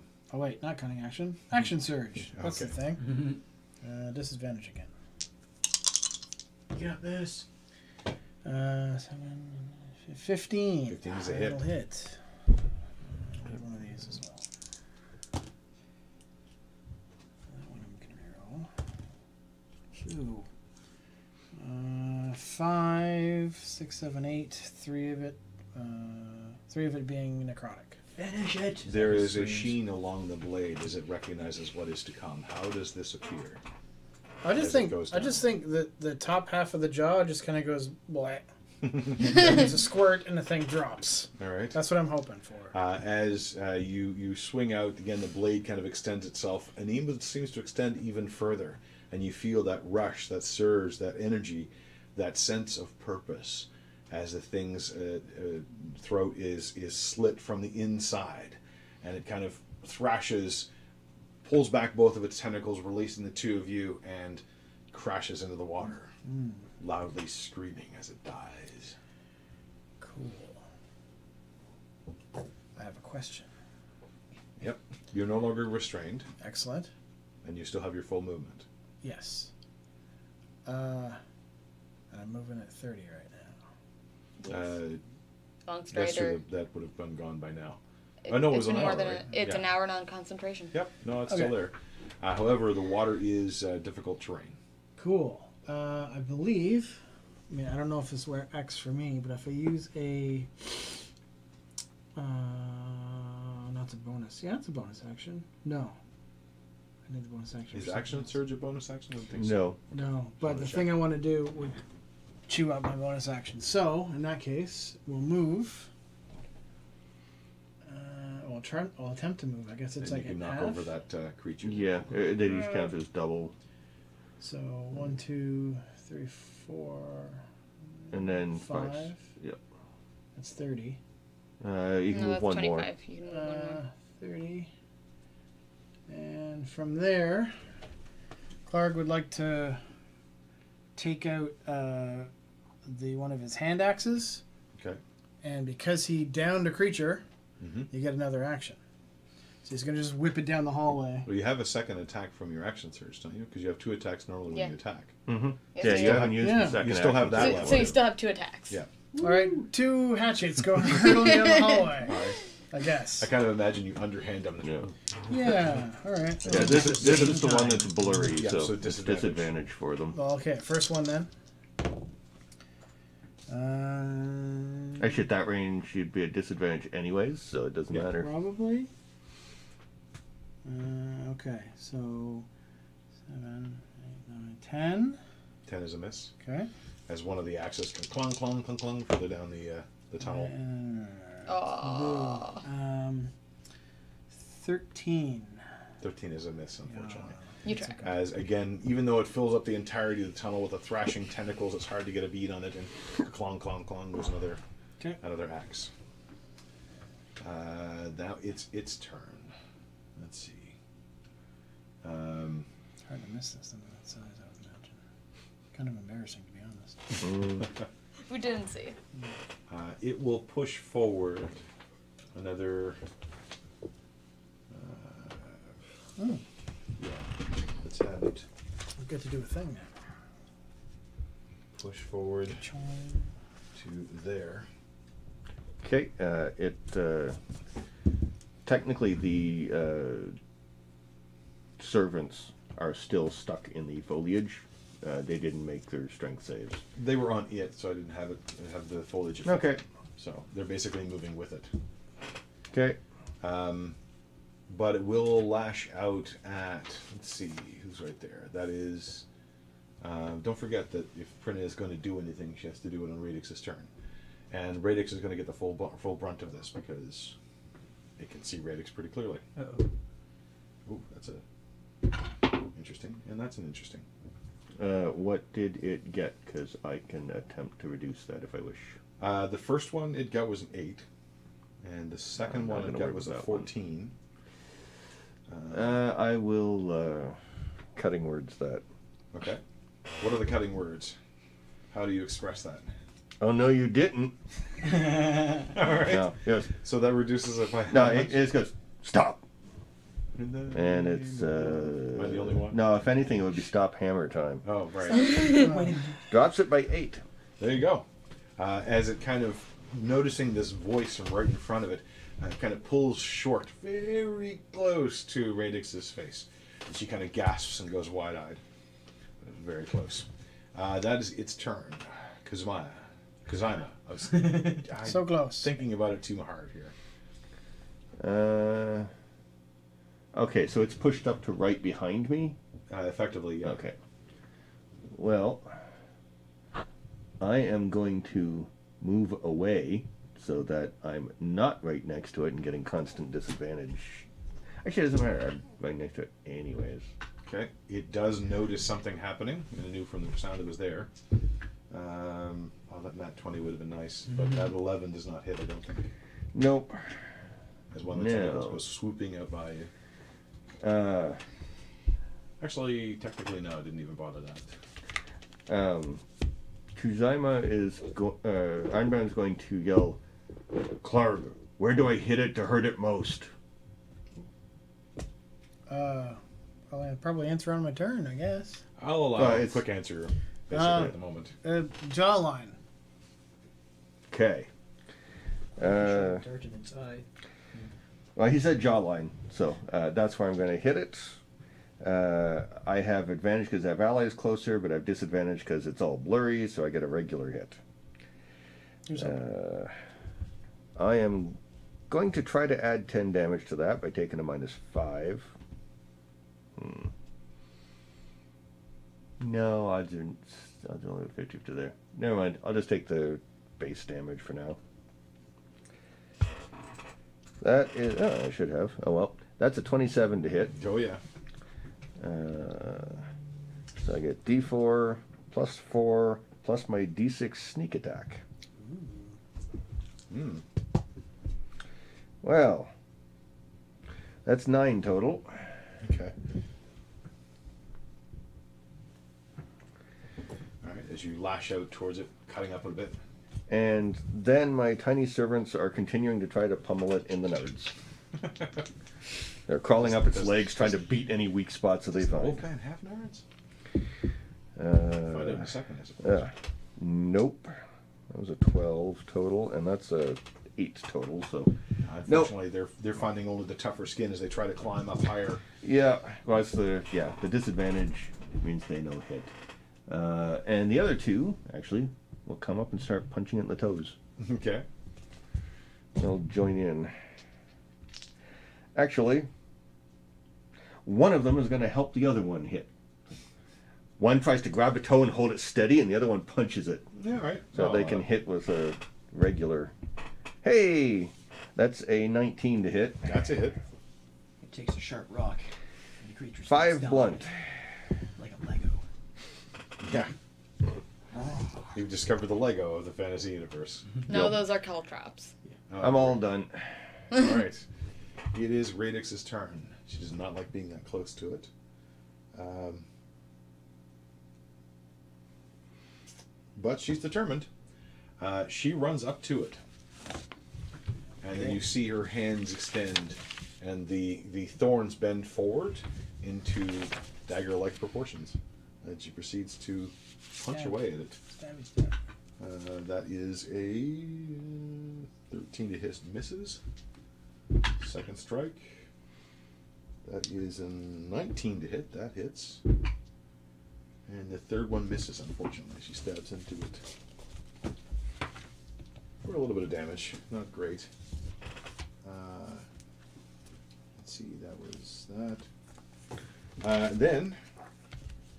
Uh, she begins to move strangely, almost as though she herself is made of vines, and twisting and moving, disengages and moves back. Nice. What does Prince So- do? Yeah, is is staying. I imagine Prin is kind of on her shoulder cheering, and then oh, that's too close. Okay, we're Brenna better." is gonna. How has her- quickly can Brenna disengage? Uh, it's an action. Okay. And she has no bonus actions whatsoever, does she? I don't think that they do. No. So she would, if she was on the shoulder of the dryad, wouldn't that have automatically pulled her back? Yeah, to- she's effectively riding the dryad at this point. Okay. Yeah. So Because I was gonna say, if she like takes her tiny sword and like pokes one of the tentacle eyes, can she retreat without getting an, an attack of opportunity? she'd have to move into it, so she'd have to move off of the shoulder. Uh, Yeah. The the thing is about you know six feet long, Hmm. um, and fills the tunnel wide. Yeah. So it, there's quite a distance to get to the center part of it, where it's and it's very protective of its eye, so they don't go right up front all the time. She can shoot arrows. Right, she will let loose a tiny arrow All right. into the thing's eye. Okay. At disadvantage, I'm assuming. Yeah. Uh, Mhm. it is a disadvantage still. No, she got a two. Shoot. Hmm? Uh, the tiny uh, servants shouldn't have had disadvantage. They have uh, they have blind sight. They don't use actual I regular don't know sight. if blur is just strictly visual. No. I'll quickly check. Um, Not that it's going to matter much now, but uh, Yeah, for the duration, any creature has disadvantage on attack rolls against you. Immune to if it doesn't rely on sight with it does with blind sight. So yes, it specifically has that. So they are. It, it is. It is with the blind sight. They're immune to that. okay. So yeah, that natural twenty should have hit. Oh well. Okay, Prina misses. Okay. Toothpick goes flying. Uh, that is her turn. Uh, Elzera. Hello. It's so funny if the toothpick. put Um. I am going to command my shield to jump, so that Okay. I don't have an AC of 13.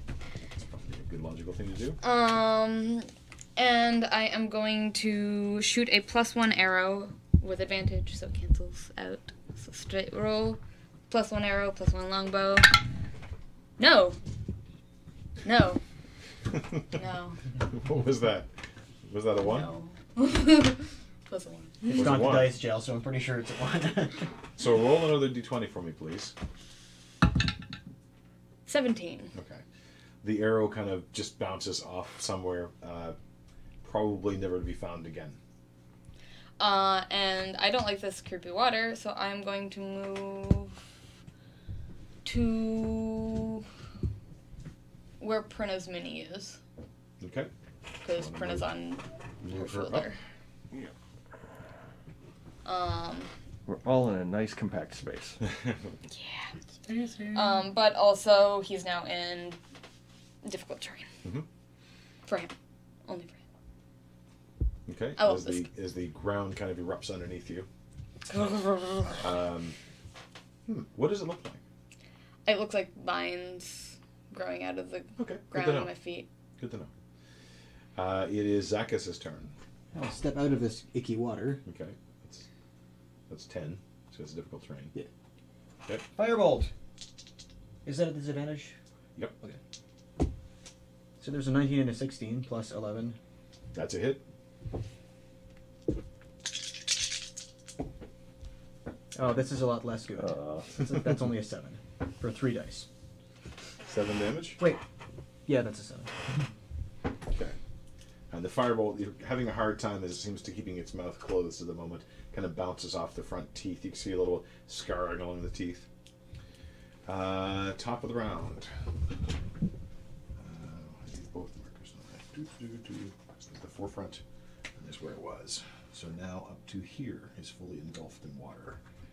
As it moves, ugh, it's right there. As the water washes over all of your feet. Making And- difficult to move through. and my knees, hips, and chest. Uh, yes, actually, in your case, uh, you're nearly actually, yeah. Uh, make a strength saving throw. He's near the front, though. Yes. Yep, the That's a water's- three. That's a three. You're uh, knocked off your feet. No, you As it sweeps over you. Uh, Clark, you're up. Plus 10 to Right. Okay, gotcha. Is inspiring. Uh, I'm gonna move ahead. Uh, la- la- lance at the ready, basically. Okay. Uh, wielding the shadow glaive, uh, striking with disadvantage because of blurry things. Yep. Okay. Um, uh, 28, 22. Once you pass twenty, that's pretty good. Okay, hit, good. so, yes. All right. So that's the The glaive one. once again goes, and this time instead of going fully straight, it actually takes on the the L shape. Carving into it. Let's see how much damage it does. All right, cool. Let's try a little bit better than two. Nope. adamant about Uh, that too. Yeah. 13, 14, 15, two of it being necrotic. Nice. Uh, as it carves a, a decent section. Once again, opening up a wound in this thing is sort of grayish brown, red, uh, blood like mud flows out of it. Good. Uh, another one, All right. just because. Oh, bleh. Uh, fail. Uh, bad. I think 12 maybe, I think. oh, that's awfully close. yeah, but it's not. it manages to get one of its one of its tentacles in, and you kind of end up slamming against the side wall. Blech. That's your move in action. A bonus or anything else? Uh, yes, because I didn't declare a thing, which I meant to do at the top of my turn. Sorry. What was that thing? I'll do it later. Oh, okay. Uh, it is its turn. Uh, it has a nice juicy Clarg right in its face. Please eat me. So it will try to chomp away at the Clarg. Mm. And Chomp chomp. let's see. Are the rest of you within range? The dolls are. Yep, y'all are. All right. Mm, You know? So uh, one Except for tentacle Zacchus, goes out towards uh, towards uh, Radix. The other one goes out towards Elzera. But first, Chompy Chomp. Yay. Uh, oh, that's a nine. Uh, you missed, thankfully. It missed. Yeah. How dare it miss towards Radix? An eight.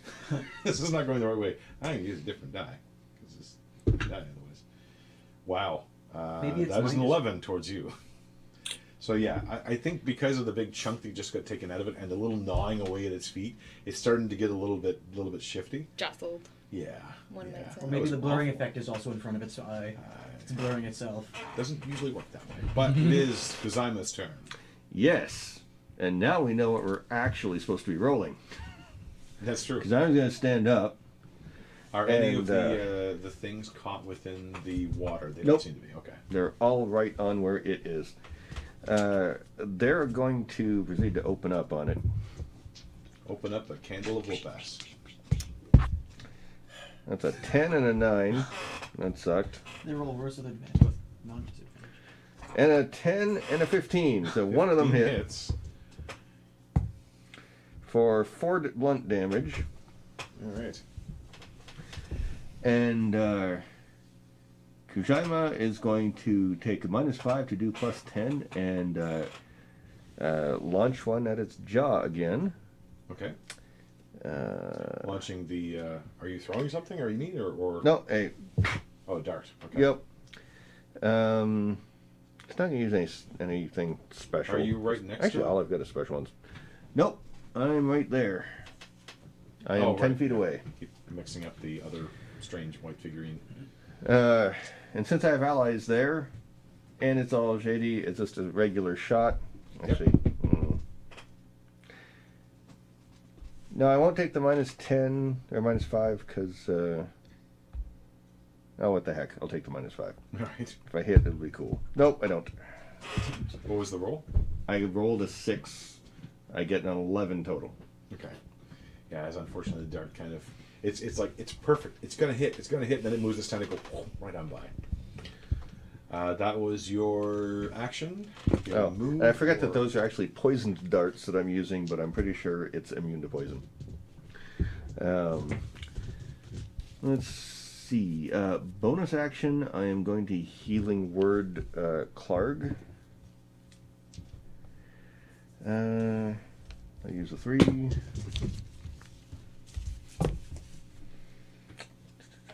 Heal ten points. Oh, thank you. Nice. All right. Now it is Radix's turn. Hmm.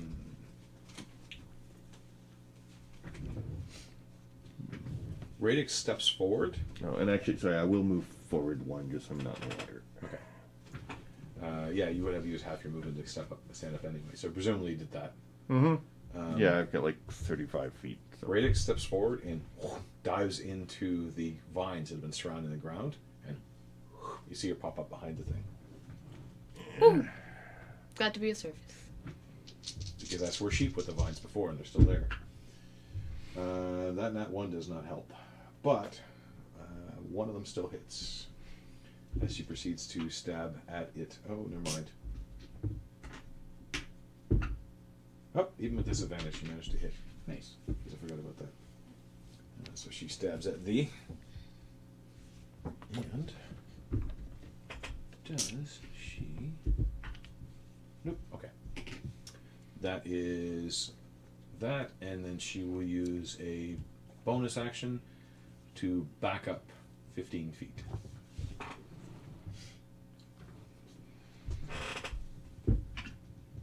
Okay. Uh, Elzera, you're up. Um, I'm going to shoot just with a regular arrow, but still plus one bow. Um, that is a 21 21 hits. for six magical piercing. Magical piercing. That sounds painful and magical. Um, The glowing belly ring. it's Magical still in my way. that little white thing that's on the creature, right? Yes, essentially, they're scaling it. Cool. Yeah. Yeah, there's four. Li- there's two potions and a couple of candles that are. Um, Crawling all I'm gonna guess Prina wasn't taken with her. No. She wouldn't have been able to take her with her. Uh, no, she can't take it. So Prina's kind of like, hey, where'd Uh, my ride go? I'm going to grab Prina and take a step forward. Okay. Prina's like, we're moving. No, well, so that I'm in the square Okay. The yeah, water? there's one yeah, square. beyond the yeah. wa- water. Prina's like, what? We're moving I want to move the closer. pencil. There we go. All right. The pencil's the water line. Yeah. Yeah. But we can like drug sharpie, sharpie marks anyway.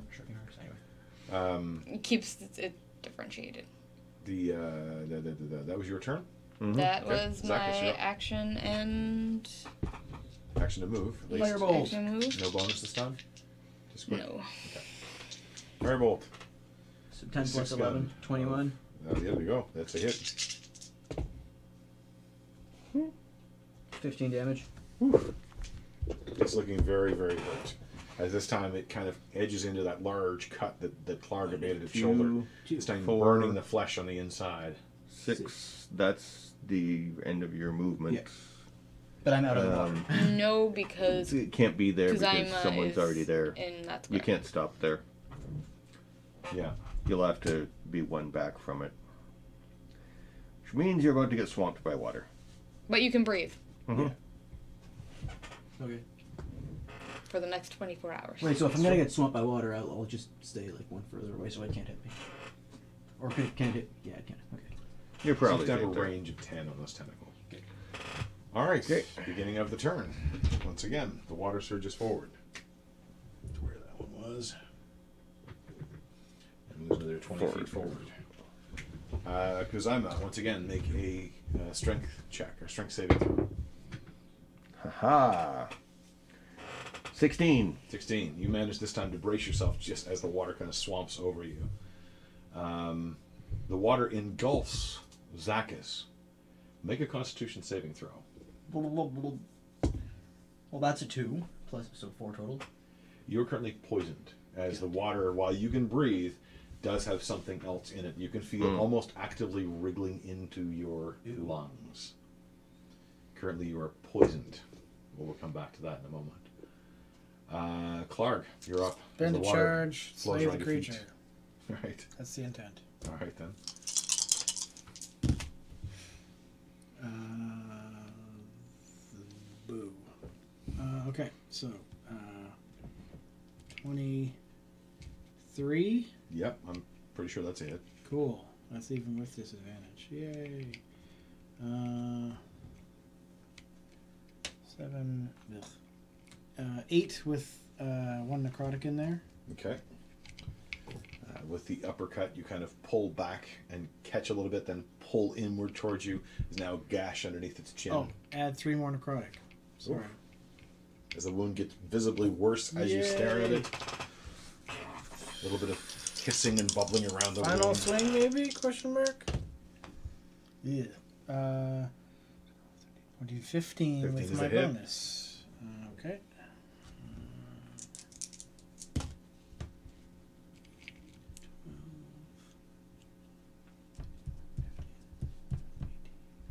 18, with seven of it being necrotic.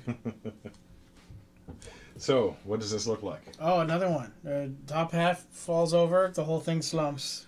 There's okay. a bit of a splash. Uh, is this time it kind of screams back in pain as you open up this gash underneath its chin, and then kind of just tug as its bottom as its bottom jug jar jar jarb bottom jaw just dislodges and kind of flops downward, and the the top half of it kind of screams. It falls over dead. Alright. Okay. Uh, each of you make a perception check. At disadvantage because you're in, in water. Okay, well that's a one. Well, that's fitting actually. 19 over here. 19, 16. 24. 24. Nice. Uh, Clark, as you're staring through the creature and looking back, you can see uh, Radix is there, ready to fight, uh, and you see the creature kind of fall as well. Uh, and Radix seems unaware of the fact that there is something standing behind her, Oh no. about 20 feet away.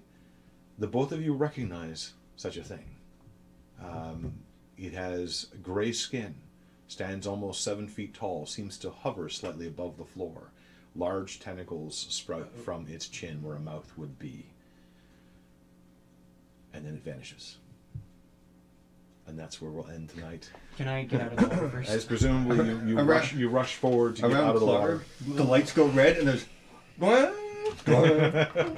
It's true. As it's easy enough to keep ahead of the water now as it's, as it's moving, but all of you end up having to run a little bit until the tunnel slight, slightly uh, rises upward, and you emerge from the edge of the tunnel just as you watch the tunnel fill up with water.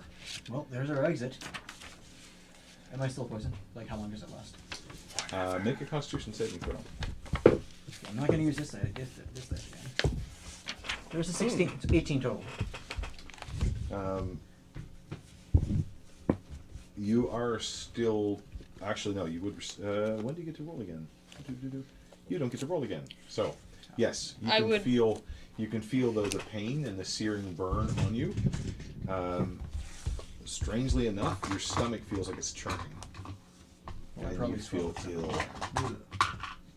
Uh, write down somewhere just on your notes for today, a note for next time. You'll probably have to do this next time. You are diseased. And that's where we're going to call it for tonight. Uh, I want to thank everybody for playing tonight. Sorry. Whoa, that was loud. That was really loud. What was that? That was Because magnets. that was that was magnets. Mhm. How do they work? Magnets apparently not only work, they work very very well.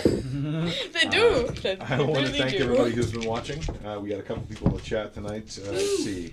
The Computer King stopped in very near the beginning. I hope you stayed for the whole thing. The Obrama, uh, sorry, the Obromo Choco, or Theo Bromo Choco, or however you want to interpret that. Welcome to uh, you to stopping in.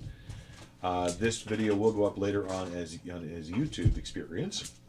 Uh, so, if people want to uh, say hello in other ways, uh, Marie, how should they do such a thing? We have a YouTube page, or a YouTube page, obviously. A Facebook page is what I meant to say.